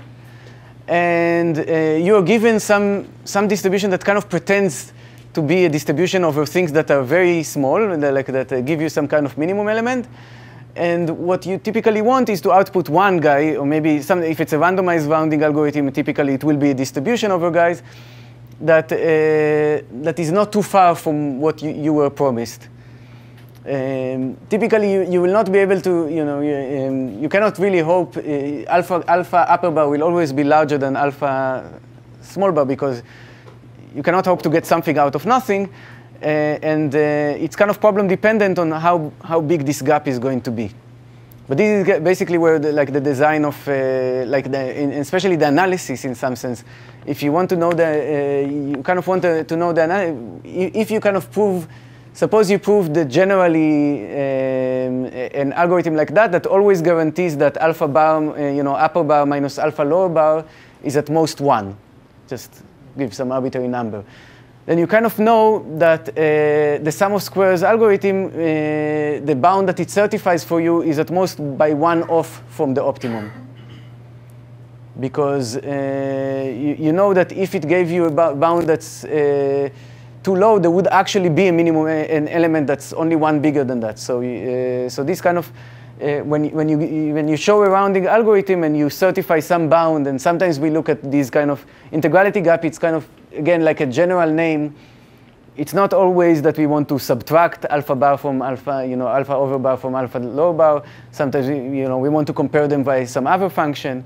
But, uh, but generally speaking, this is kind of like, uh, we kind of want it to, be uh, as close as possible and, um, and when we have negative results, these are results showing that uh, it can sometimes be very, very big, uh, the difference between these two.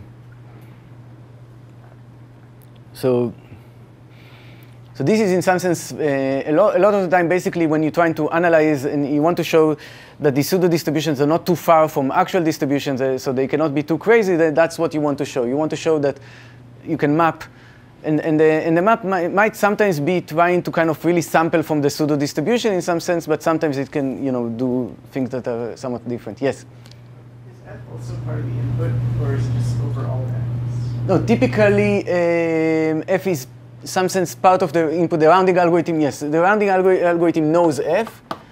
Um, but generally speaking, you probably, if, if you want to show an integrality, a bound on the integrality gap, you would restrict your f to a certain family. So for example, you would say, you know, f corresponds to uh, the maximum cut of some graph. And, and you look at the family of all functions that correspond to, to some cuts, and you want to say, uh, you know, say minimizing f corresponds to maximizing the value of the cut, and now you want to say that uh, uh the gap is not too big, that if, uh, you know, if you have a pseudo distribution that pretends to be a distribution of a very, very good cuts, then uh, you can find an actual distribution that is over decent cuts. And, and let me say, uh, maybe I'll kind of uh, jump to uh, like one of the main, um, let me uh, maybe show you one of, one of the main tools that we, uh, that we actually use to, to do these things. So, so in some sense, we want to find, so, uh, and, and, this is related also to Leigh's question, we kind of, we given, um, so, so some sense, uh, here are some computational questions. So, so in some sense, a lot of the question we ask is how close are pseudo distributions to actual distributions? And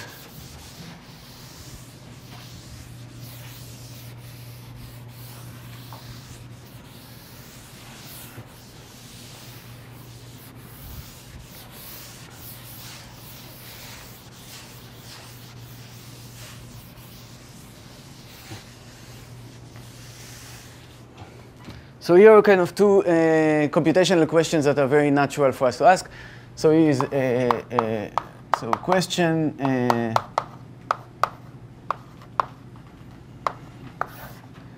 so, so if we are given a, a pseudo distribution mu, um, you know, degree d, let's say, let's uh, given degree d pseudo distribution mu, um, ask the question, is there an actual distribution, an actual distribution uh, um, rho such that, uh, you know, uh, the uh, expectation with rho of p equals expectation with mu of p for all p in pd, like, right? So for every polynomial of degree at most d, so, so you can ask, if you have an, a pseudo distribution, is there an actual distribution? So uh, we know that no, it's not always the case, but is there an algorithm to say if that's the case or, no, or, not?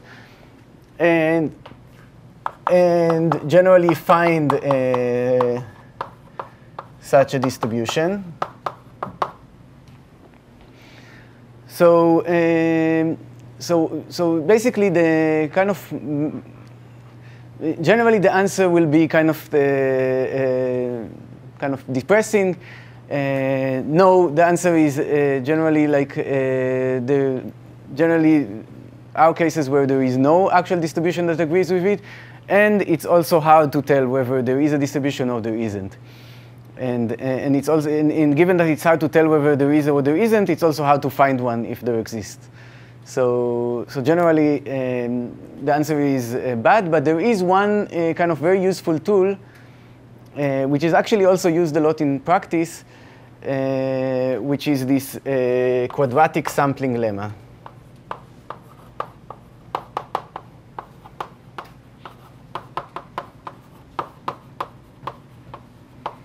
And basically what it says is uh, the answer is yes if we restrict to d equals 2 and um, allow, uh, allow rho to uh, range over Rn. So basically, even though we kind of maybe wanted distributions over 0, 1 to the n, we, might, we need to allow rho to range uh, over Rn. And we, uh, and, and we can only do it where the, for degree equals 2. But this is still a, a, a, a very useful uh, thing. Let, let, me, uh, in a second, state it kind of more formally.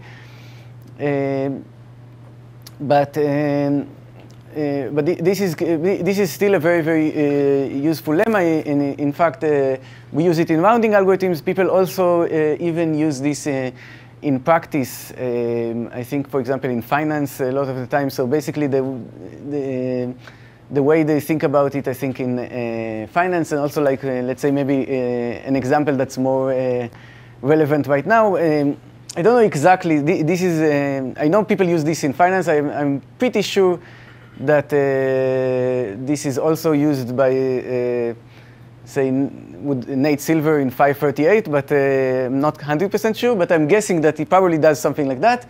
Like, you know, they have a matrix um, of correlations between different states or maybe different populations, etc. I would say, you know, they know that, uh, you know, Pennsylvania uh, maybe has some relation with Ohio, and then there is some correlation with New Jersey or whatever. So they have this kind of matrix of, uh, of correlations between states. And then they have, uh, you know, some expectation of, say, the number of votes that uh, Clinton will get in each state. Uh, and now they want to, uh, you, they want to sample a distribution over all the 50 states that uh, will agree with these correlations and these expectations. So this is a simplification of what it does, but I think, I think something like that has to be at the heart. Yes? Yes? Okay. Uh, I have a question about the quadratic sampling. Yes. I feel like uh, when rho is defined on the Rn, then, I mean, there might be multiple polynomials that have you know, exactly the same values as a, at a grid point, but not over the Rn. Mm -hmm. So maybe two P's with kind of have two different expectation value over rho, but have exactly the same expectation No, so, so rho is a concrete, so I'll, I'll state the sampling lemma uh, more precisely, but rho is an, a, a, concrete distribution, right? So basically given mu, the sampling lemma gives you a rho, a distribution. Once the distribution is fixed, the expectation value is fixed. So it will give the same expectation for the polynomial. It's true that it will give this expectation in a somewhat ch cheating manner because it, what it uses the trick that even though the polynomial is we kind of intended for it to only be applied on the cube, it's a polynomial. You can you know, feed real numbers to it and see what comes out.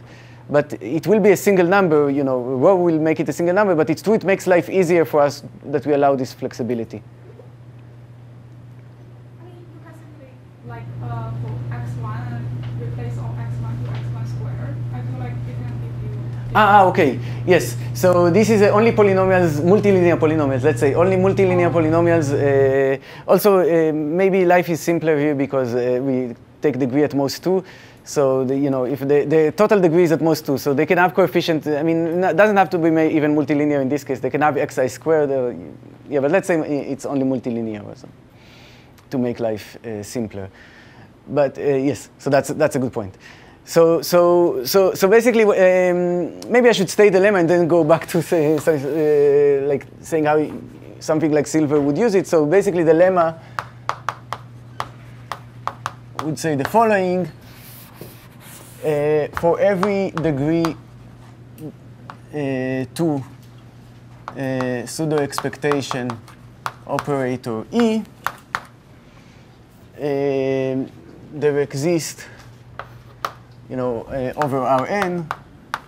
So the, the pseudo expectation operator uh, is over Rn. There exist um, uh, for every uh, such uh, pseudo expectation operator, there uh, exists um, an actual multivariate Gaussian distribution. And let's, maybe I'll give it the name, okay, so rho, maybe I'll just give it the name, you know, some random variables, let's call them, I don't know, y1 till yn, such that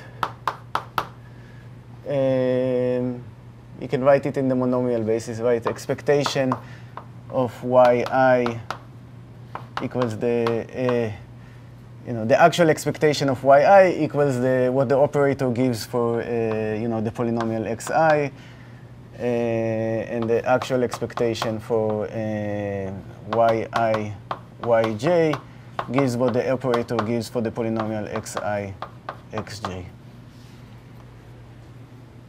Okay, so this is the quadratic sampling lemma. It says, and we can find it, right? So, so it says, given a, a degree two pseudo expectation operator, you can find an actual distribution that matches uh, these moments. And, and the way people, I think, people use it in practice, uh, say, for an example, uh, something like that, you kind of, uh, you're faced with, you know, suppose you know the correlations between states and the expected, um, the expected vote for, say, Clinton in each state. And now you want to compute the probability that Clinton wins the presidency. So the probability that Clinton wins the presidency is somewhat of a complicated event, right? Because it somehow, uh, it depends on getting, uh, like, uh, what's the probability that you get a certain subset of states that add up to 270 electoral votes. So it's not exactly well defined from just from these uh, pairwise correlations and these expectations. But somehow, you know, they have to come up with a number. So uh, what do they do? They take, you know, take these, uh, this matrix of coefficients, uh, of correlations, and the expectation, and they probably throw in some other hacks, etc. But basically, they come up with some distribution that matches these moments, and, uh, and then they can sample from this distribution of the total, you know, number of votes or fraction of votes, and, uh, and decide based on that like in how, how many times they, you know, they sample, you know, a vector of like 50, dimension 50, and they add up, and if that vector comes up to be, uh, you know, if they, they add up the, the state she wants is more than 10 to 70, they said, well, he, she won that, otherwise they said she didn't win, and, um, you know, and then they output the fraction of the times in their simulations, in their sampling from this thing, that uh, they, um, that she won. Now, I'm pretty sure they will do something a little bit more complicated than that, but the basic idea is along these lines because you kind of have to, you, you, you need to find a an actual distribution. You're given some uh, partial information, some partial uh, correlations or moments, and you need to find a, a distribution that matches these moments. Yes?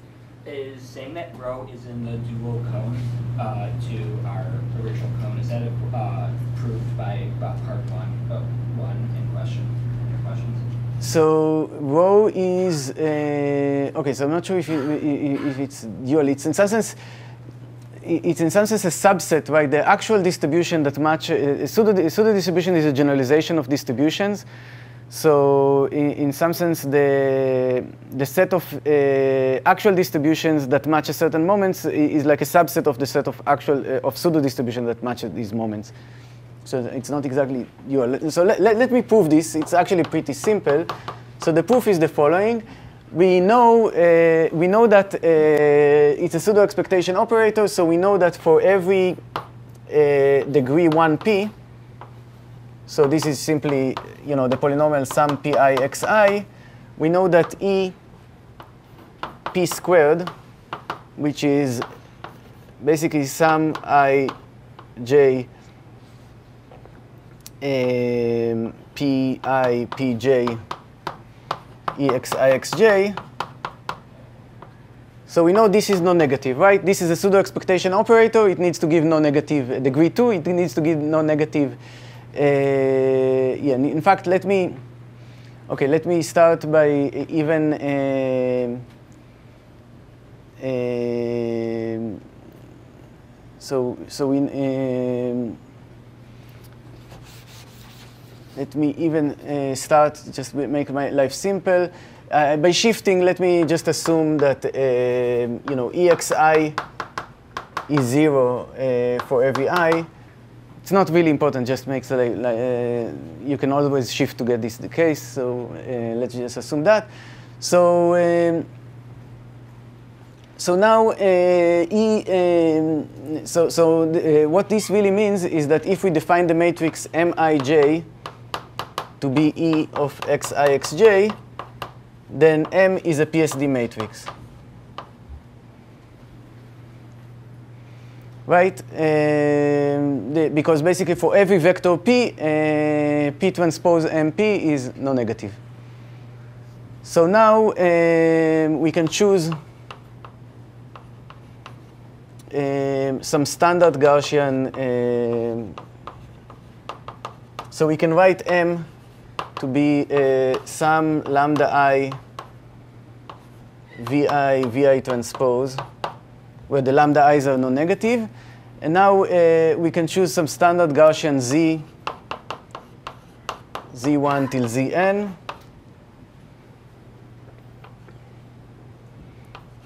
And uh, and now uh, and now what we do is we basically uh, what we want to do is we define um, y, uh, y to be the vector that is obtained by uh, taking um, square root m times z, or in other words, it's the vector uh, that you get by taking sum of square root lambda i. Um, vi times the dot product of vi and z. Okay, so at least, uh, so we, we uh, so I showed you how to sample from this distribution. You sample a standard Gaussian, uh, you know, every entry is independent uh, normal variable with uh, expectation zero and deviation one.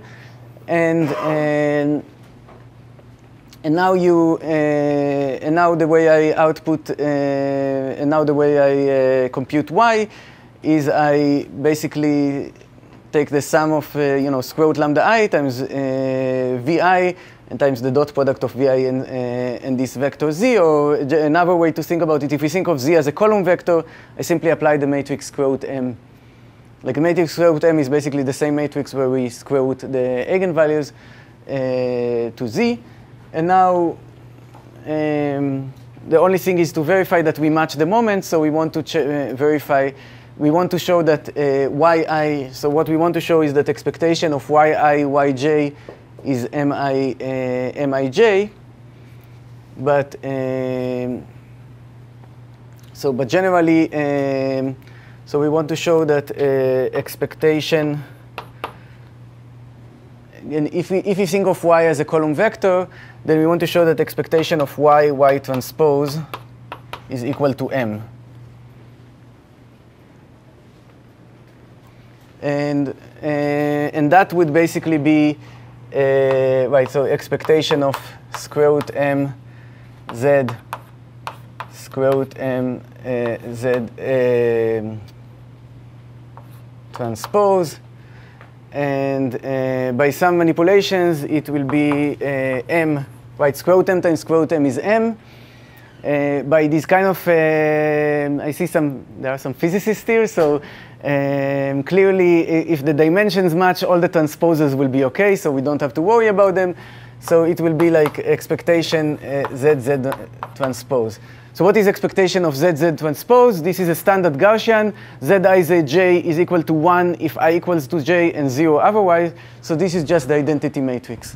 So basically, it will be m times the, uh, the identity matrix. So these are kind of like uh, linear algebra manipulations that if you're not as uh, you know used to them, then uh, you know they could seem like magical, but there is nothing really deep going on. It's you can you can also do the calculations.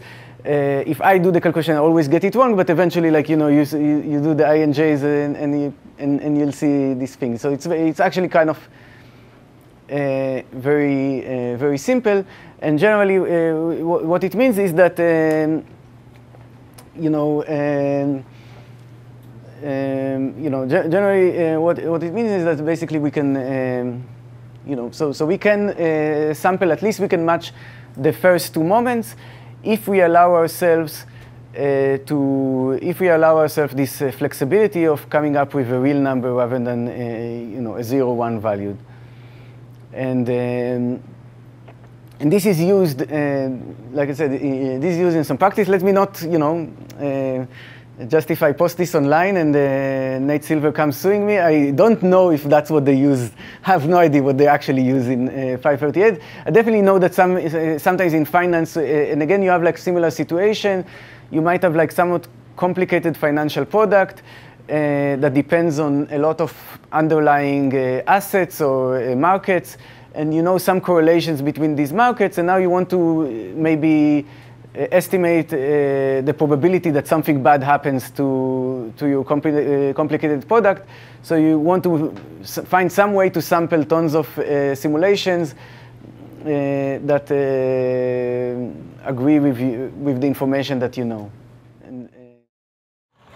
Right, so we had this question, and, uh, and we said, uh, okay, the, the, quadratic sampling uh, lemma gives us one one answer to this question. We can do it with degree uh, two. So, uh, but this was a very, very, you know, this was a very simple proof. We can uh, basically, you know, uh, not only we can do it, uh, you know, with degree two, probably, you know, I don't know, Gauss could have done it, I mean, uh, with the knowledge of the time or, or whatever. Like, it's, it's kind of very, we, we can do it uh, with uh, fairly simple tools. So you might ask, well, maybe, you know, just work a little bit harder and you can do it with d uh, equals uh, 3 or with, uh, you know, d equals 2 and, and Boolean output. And generally, the answer is no. And, you know, before proving that the answer is no, let me, let me tell you why the answer should be no.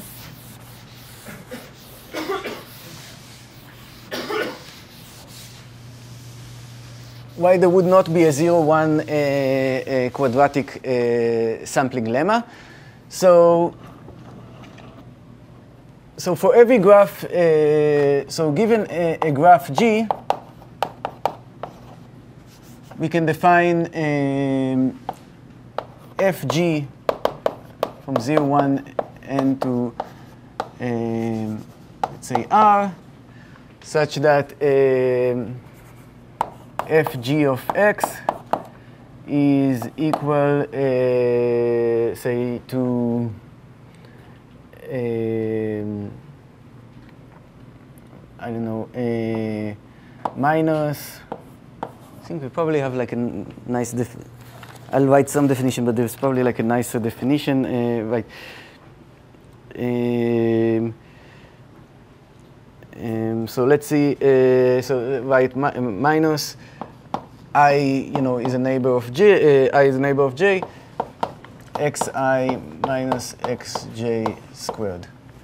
Okay, so this is a degree 2 polynomial, and um, it's smaller. The, uh, so if, if, if you think of a vector x as uh, basically a cut of the graph, then uh, the, minimizing this polynomial is like maximizing the cut, right? So um, and uh, max cut is an NP hard problem. So basically, uh, we know that uh, there exists a G such that, uh, you know, computing mean uh, of, generally, we, we, there is no general uh, way to compute the minimum. Mi so Uh, we, there is no general algorithm, uh, efficient algorithm to given g to compute uh, the minimum of uh, uh the, the, the, minimum of uh,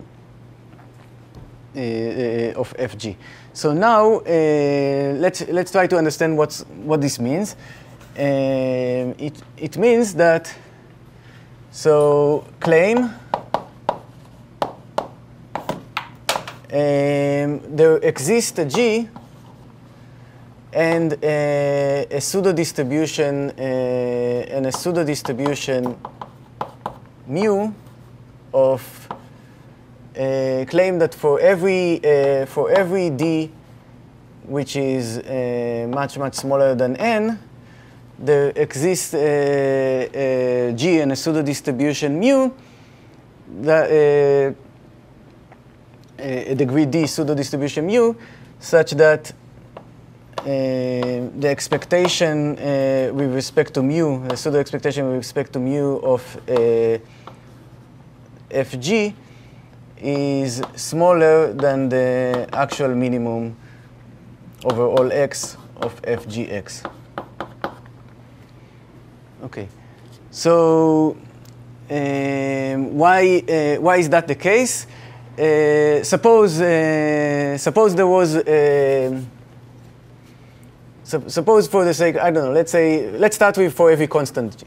Okay, so for every constant d, so suppose there was a constant d, uh, that, that this was false. So suppose there was a constant d such that for every graph uh, and every mu pseudo distribution, then uh, for, and for every uh, graph and for every uh, pseudo distribution, the expected value on, on fg was at least the minimum.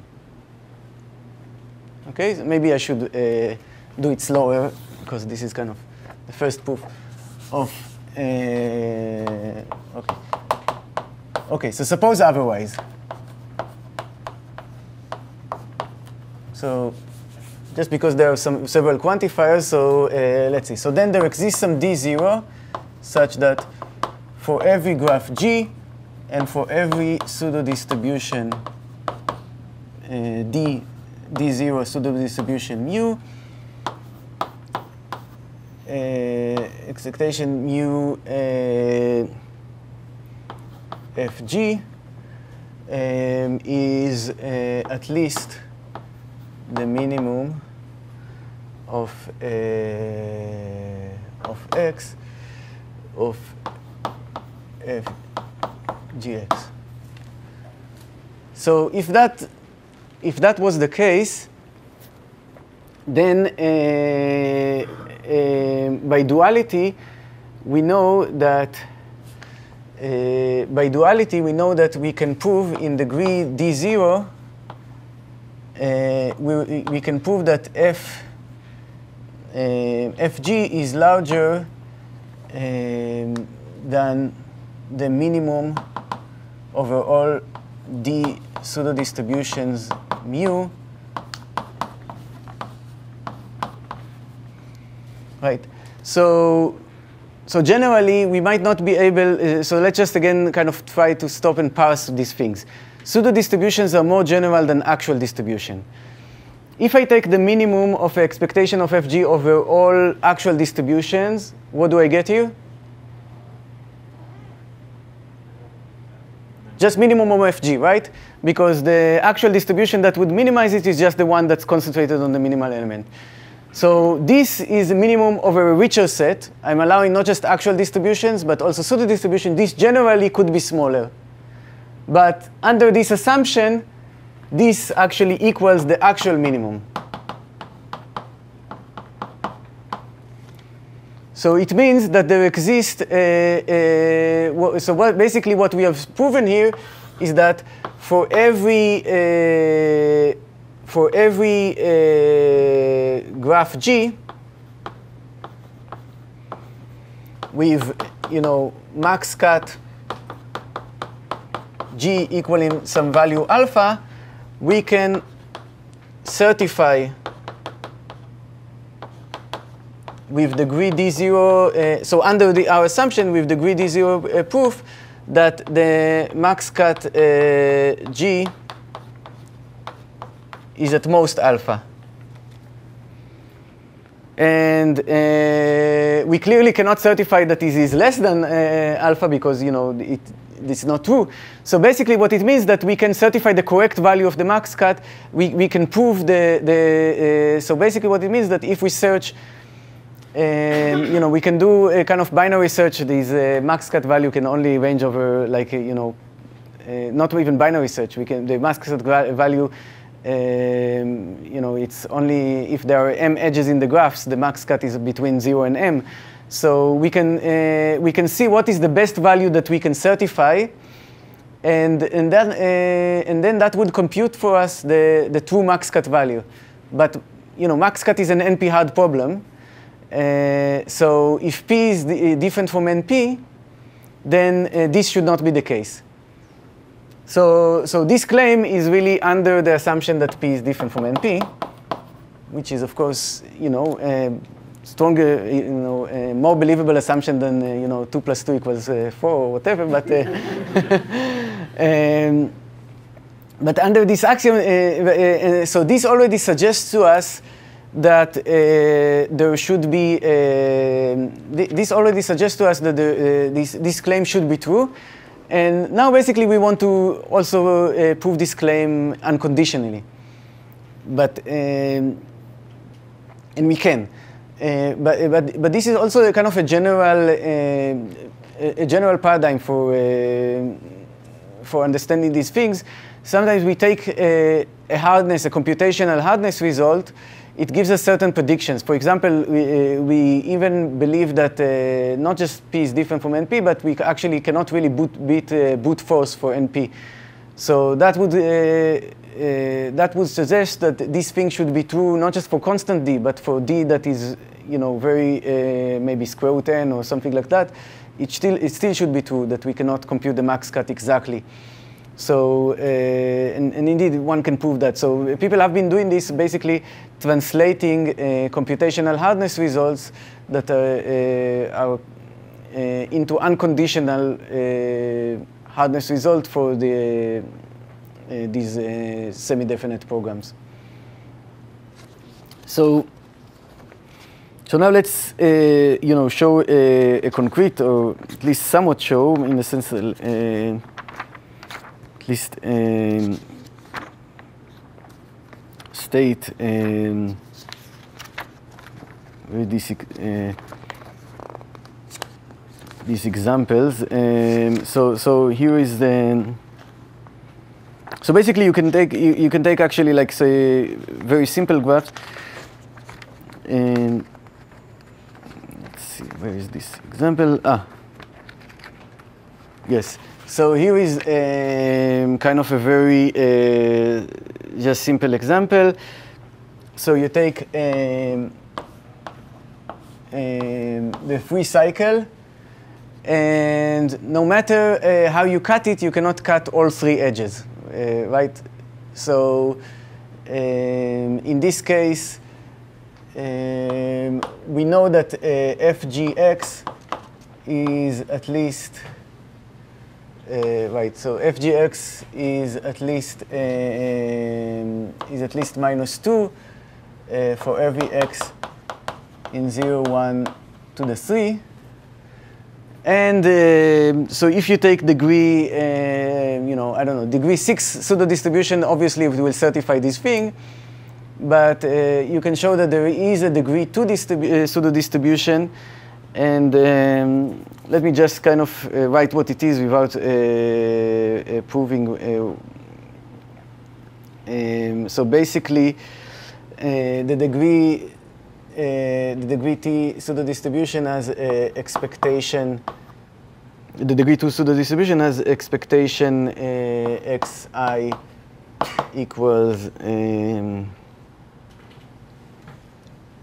expectation xi equals half and expectation um, xi xj um, the way um, the way they uh, wrote it, the, the, expectation. Let's let me just write this this way: expectation of x1 minus x2 squared equals expectation of x2 minus x3 squared equals expectation of. So it, it is in the notes exactly how you get it: uh, 3 minus x1 squared. So this is the the three ages uh, equals uh, three quarters. So basically, uh, this pretends to so instead of cutting, uh, th this pretends to cut not, um, uh, this, this pretends to cut uh, like three times three quarters of the edges. so it has expectation three times three quarters, which is um, 9 over 4, which what is important for the, about 9 over 4 that is larger than 2. So, so you can define a valid degree to pseudo distribution and uh, prove that it's PSD um, is uh, you know in the lecture notes. But uh, the, the point is that basically this is a degree 2 pseudo distribution, and um, it pretends as if you can cut in expectation, it, kind of cuts, uh, uh, you know, 9 over 4 of the 9 over 4, like 2 point, you know, 2.25 edges rather than two edges. So we kind of know that there is no actual distribution that would match. Uh, we know that there is no actual distribution that would match these uh, parameters. So this is kind of a very simple example of a distribution that you can't match the moments.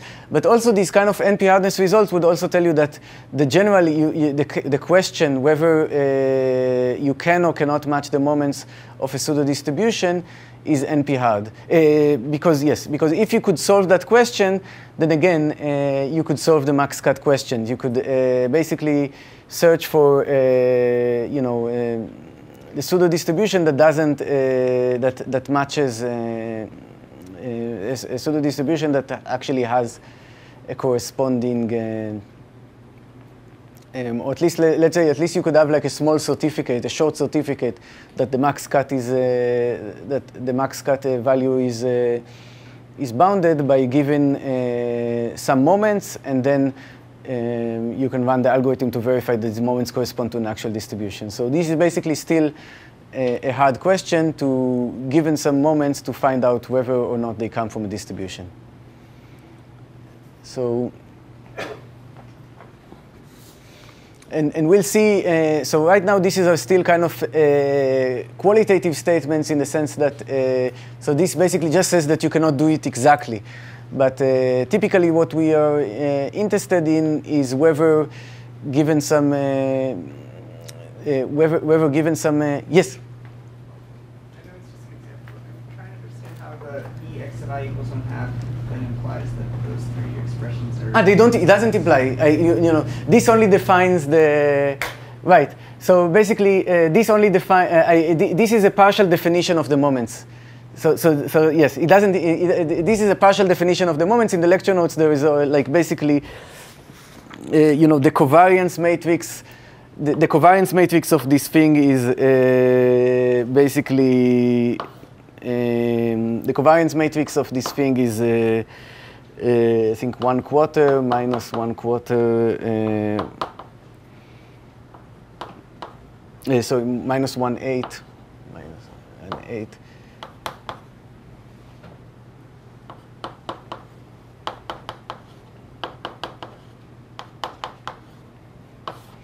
So this behaves as if it's like uh, you toss three unbiased coins, like the cat behaves as if you tossed three unbiased coins. Uh, and, and, there is some negative correlation uh, between uh, between uh, you know this coin and this coin, etc. Like the and there is there is some ne negative correlations between uh, these two coins, and the negative correlation is such that this matrix is still PSD, but it's actually more negative that you can actually achieve uh, in any real distribution. Right? So, uh, so basically, it behaves as if you have like you toss three coins, where every pair uh, this, of distinct coins has probability three quarters of being different. And, um, and this matrix still uh, turns out to be PSD, so it is a degree 2 pseudo distribution, if uh, but it is, uh, but, but there is no, uh, there is no actual uh, distribution of three coins that can achieve this. Yes? You said that if we could check whether uh, there is a distribution for small n, Yes. Yes. Ah, okay. Yes, so basically, um, the, the idea would be, um, okay, so, um, um, okay, so let's see. Um, might, you might be right that it's, okay, it's definitely computationally hard to, to check if a distribution satisfies the moments. What's the easiest way uh, to see this? So, uh, you um, so that's uh, okay so that's a good question uh, what i think uh, you um, Yes, so I think it might not be, um, yes. I, I think it might, uh, okay, so let me, um yeah, ma- ma- let me think a little bit. I, can, I think there is definitely like some computational hardness, uh, or even for the problem of, you know, just given a set of moments, does there exist a, a distribution uh, that matches them? And um, uh, maybe even uh, right so so but but it might actually uh, yes.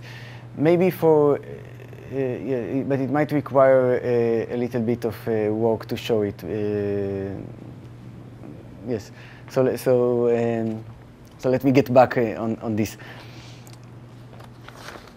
So so basically, uh, so, so, pseudo distributions somehow may, may behave like, uh, can be different than distributions. So you might kind of say, why do I kind of give them these names and why do I uh, um, imagine that they're distributions? And basically the, the, the reason is that even though they, even though they are not exactly distributions, they, they still satisfy some nice properties. So uh, and we still can sometimes uh, pretend that uh, they are distributions. So, so we've seen some bad examples. Let's say some some good examples.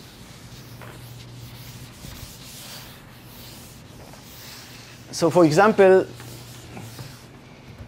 we can prove, um, you know, so here is one theorem. You know, for every degree I'm not sure, like 2D, I don't know, uh, pseudo distribution mu, whatever the degree needs to be, so uh, this thing makes sense. And uh, let's say P and Q that are degree at most D. Then uh, the expectation, the pseudo expectation of uh, PQ uh, is smaller than the square root of pseudo expectation of p squared, so the expectation of q squared. So, uh, so we have Cauchy-Schwarz. Um, so we, uh, so, so, so we have Cauchy-Schwarz. This is one nice thing that distributions have. So this, the, the pseudo distribution also has it. And the way you prove it is the following. You know, you can scale things. So, you know, without loss of generality, uh, this is kind of a scale uh, invariant inequality. So without loss of uh, uh, loss of generality, we can assume that ex pseudo expectation of p squared equals pseudo expectation of q squared equals one. Right. So now we need to prove that uh, uh, pseudo expectation of pq is at most one. And we know that pseudo expectation of uh, uh, p minus q squared is non-negative. After all, this is right what pseudo expectation does, and that equals to pseudo expectation of p squared uh, minus uh, plus pseudo expectation of q squared minus 2 times pseudo expectation of um, pq. Right, so we know this is non-negative. Uh, if this is 1 and this is 1, this means that this guy can be at most 1. Right? So, uh, so we get Cauchy-Schwarz. And, and, and generally, um, and, and, generally, we'll see more and more examples like that uh, in this course, uh, more and more examples where, the, uh, uh where we could, where um, um, for things that we kind of prove about uh, distributions, uh, there's, you know, Cauchy-Schwarz, AMGM, all these kind of uh, things, and even um, and, even more sophisticated things like hypercontractivity and invariance principle, etc. We can we can uh if we have a uh, if we have a proof, mathematical proof of the of that fact, with, uh, it often turns out even if the mathematical proof is complicated, it, it can be like a, you know a, great paper and I mean literally an annals of math paper it still can be that the proof itself is a low degree uh, sum of squares proof. In fact, the, the, main, uh, the main way to generate uh, examples that are kind of robustly uh, not sum of squares provable uh, is using the probabilistic method. Uh, and which maybe explains why you know it took so much time for people to come up with you know concrete examples uh, for Hilbert's question. And even those concrete examples were like somewhat, uh, like Motzkin's example is, was somewhat kind of uh, fragile, uh, that uh, it required very low degree rational functions. So in some sense, if you stay away from a probabilistic method and uh, your proof doesn't do that, if your proof doesn't use kind of the Chernoff plus union bound type arguments, typically it will be um, um, typically it will be um, uh, it will be uh, SOSable. So basically, the, there is uh, two main there are uh, basically two, two main tools that we use when we do uh, kind of uh, sum of squares research. And this is related to each other. This is Marley's paradigm. So Marley's paradigm is basically if you, if you stay away from the uh, probabilistic method, then every little thing is going to be all right. so don't worry. so, so, uh, so basically, um, so, so typically the way we, it would work is, uh, uh, the, the way it would work is that you analyze, uh, say, a rounding algorithm while pretending that the pseudo distribution is an actual distribution, and you do all your proof, and then you go back to the proof and, uh, and, and uh, SOS it. And, um, and, and the idea is that um, as long as you didn't use the probabilistic method, you, um, it will be okay, and uh, you will be able to show that even though, uh, so, so you basically, the idea is that you kind of you take a rounding algorithm. So you pretend you're given uh, the moments of actual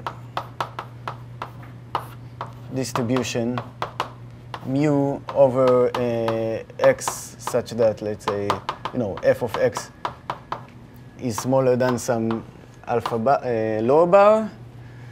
And let's say use that to find maybe some x x upper bar with uh, you know with uh, fx bar upper bar at most alpha bar, and then uh, and then you go and you look at the analysis of the algorithm and if you didn't in, the, in your proof, so you kind of, so you suppose you prove that, you know, alpha, that you, you prove some bound delta on the integrality gap. You prove that uh, alpha uh, upper bar is at most delta worse than alpha lower bar, then uh, you go and look at the proof of this statement and, uh, and then try to see that uh, maybe in the proof of this statement, you only use things like Cauchy-Schwarz, etc. Right? I mean, this statement at the end of the day is an inequality. And how do we prove inequalities? I mean, we use Cauchy-Schwarz. I mean, we are like dumb computer scientists. We don't know how to do anything else.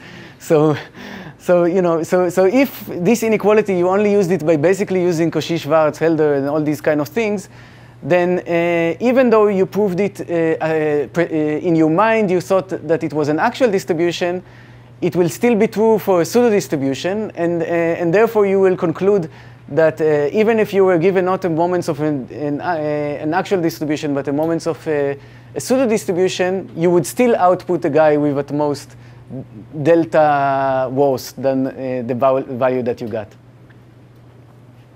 So, so this is kind of a, general paradigm in, in kind of designing um, rounding algorithms for sum of squares.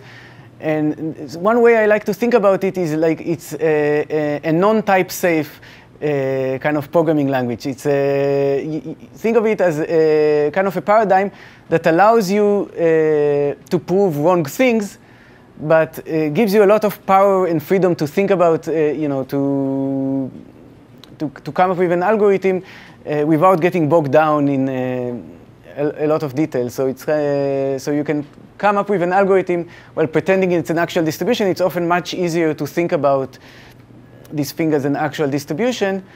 And, um, and, and, uh, and then um, you, you, you, you use kind of, you go back to your analysis of the algorithm and, and try and, and extract from it a proof. And often what happens is that um, like this, it separates the, the work of designing a rounding algorithm into two parts.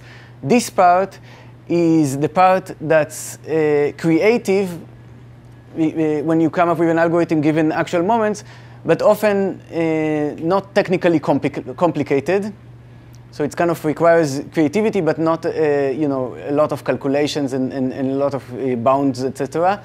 This part is not creative because it's kind of mechanically going on uh, the, your proof line by line and making sure that all your arguments uh, are uh, sum of but uh, it often is kind of the, it will be the long, maybe the longer part of the proof of the paper and take more uh, you know technical effort. So it kind of separates nicely the, the uh, this thing to two parts, which can be useful, and there is um, there's also this question of when, when you're pretending this is actual distribution, there is something that's somewhat uh, deeply uh, troubling about that. And, and this is uh, that, you know, suppose we are talking about max cut. So, you know, we are given a graph G. And now we want to find a rounding algorithm for max cut, and that's what we'll do actually like next, next week. Uh, and we uh, basically, we pretend that we are given distribution uh, mu over um, cuts of g with value um, alpha. So, so we kind of pretend that we are given a, a distribution over cuts of g, and generally the way if you, uh, you, we are given the moments of this distribution. And generally, uh, you can try to compute things like, uh, you know, uh, you can try to compute like the marginals, for example. Uh, you can try to compute like, say, expectation over mu of xi, and maybe expectation over mu, uh, uh, things like expectation um, over um, of some higher moments, uh, and, and, generally what you'll come to the con conclusion, almost all cases, you'll come to, to the conclusion that this uh, distribution actually has kind of uh, a lot of entropy. Typically the marginals will be half, like, you know, and, uh, and the correlations will also be kind of small between uh, two guys. So you kind of come to the conclusion that it, based on these moments, that these marginals have, um, there, there is kind of a, a lot of, this distribution has a lot of support if it was an actual distribution. But this is somewhat confusing because maybe often you would think that in a graph, if you take the absolute maximum cut, there will be only one of them. Right? So, so it's come in some sense, uh, maybe there, there, there is a, you might even be promised, someone might tell you, you know, I generated this graph in a way that there is only a single unique maximum cut. But still, you define this, uh, you take this pseudo distribution, and, uh, and it will seem to tell you, hey, hey, I am giving you now a distribution, not just on one cut like that, on many of those cuts. So, so in some sense, like, uh, it's somewhat confusing. In some sense, maybe the graph doesn't even have a cut at all, but still you will find the pseudo distribution that pretends as if you have many cuts. And, and, and, this is basically uh, the, the way, uh, so some, it can be hard to kind of interpret. How, do, how can I pretend that this is an actual distribution if uh, I kind of have good reasons to believe that there is not, no actual distribution over cuts of this graph that has this property? And this is kind of the other paradigm we kind of use, which I kind of call the Bayesian Kool-Aid. So what we do is we kind of think like Bayesians. Like, you know, if you think like a Bayesian, you might say the following thing. Yes, there is only one unique uh, cut, but because I have, I don't know it, I have uncertainty about it. So this entropy is not really an entropy because there are many cuts. It's an entropy because I have a lot of uncertainty. So uh, it's somewhat confusing because typically Bayesians, you don't think about like uncertainty because you're bounded computationally. You think of uncertainty because you know you don't have enough information. But it's somewhat similar, right? Uh, you know, as far as uh, you know, if I look at uh, this is kind of example, I, you know, some I give like say, suppose you know, I personally, you know, don't know the eye colors of my great grandfather. So to me, uh, you know, he, he either had blue eyes or he didn't. The, you know, it already happened. There is no probability involved. But, uh, but to me, the, the event, whether he, he had blue eyes or not, uh, I can put a probability on it. Maybe based on maybe on all its descendants, I can kind of put some probability of, of whether he had blue eyes or not. So the, in some sense, it makes no sense because the, he either had them or didn't have them. It already happened. But uh, I, I don't have knowledge about it, so I can put probability on it. And you can think of these, uh, and, and you can think of, uh, uh of these pseudo distributions, therefore, because they, they kind of typically will, will uh, show you more uncertainty than there should exist, that it's really the uncertainty about your knowledge uh, but this time it's your knowledge because you're computationally bounded. It's not because there is not information. The graph is given to you in all you know, its glory, all the edges. If you just had exponential time at your disposal, you would be able to find the maximum cut. And you would have zero entropy about uh, you know, what this cut is.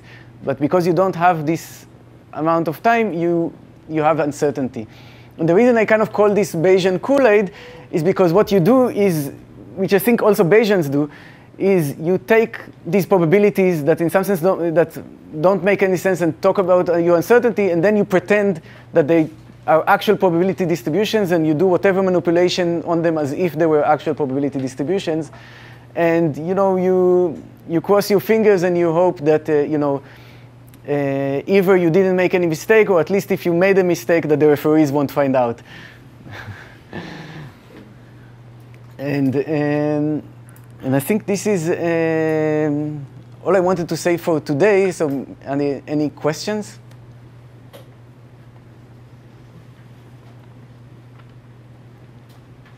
So, so if there are not que no questions, so let's, again, uh, everyone please join Piazza. Um, right, so, so go to the website, so join Piazza and um, I'll probably mail you some uh, reading homeworks um, on Monday.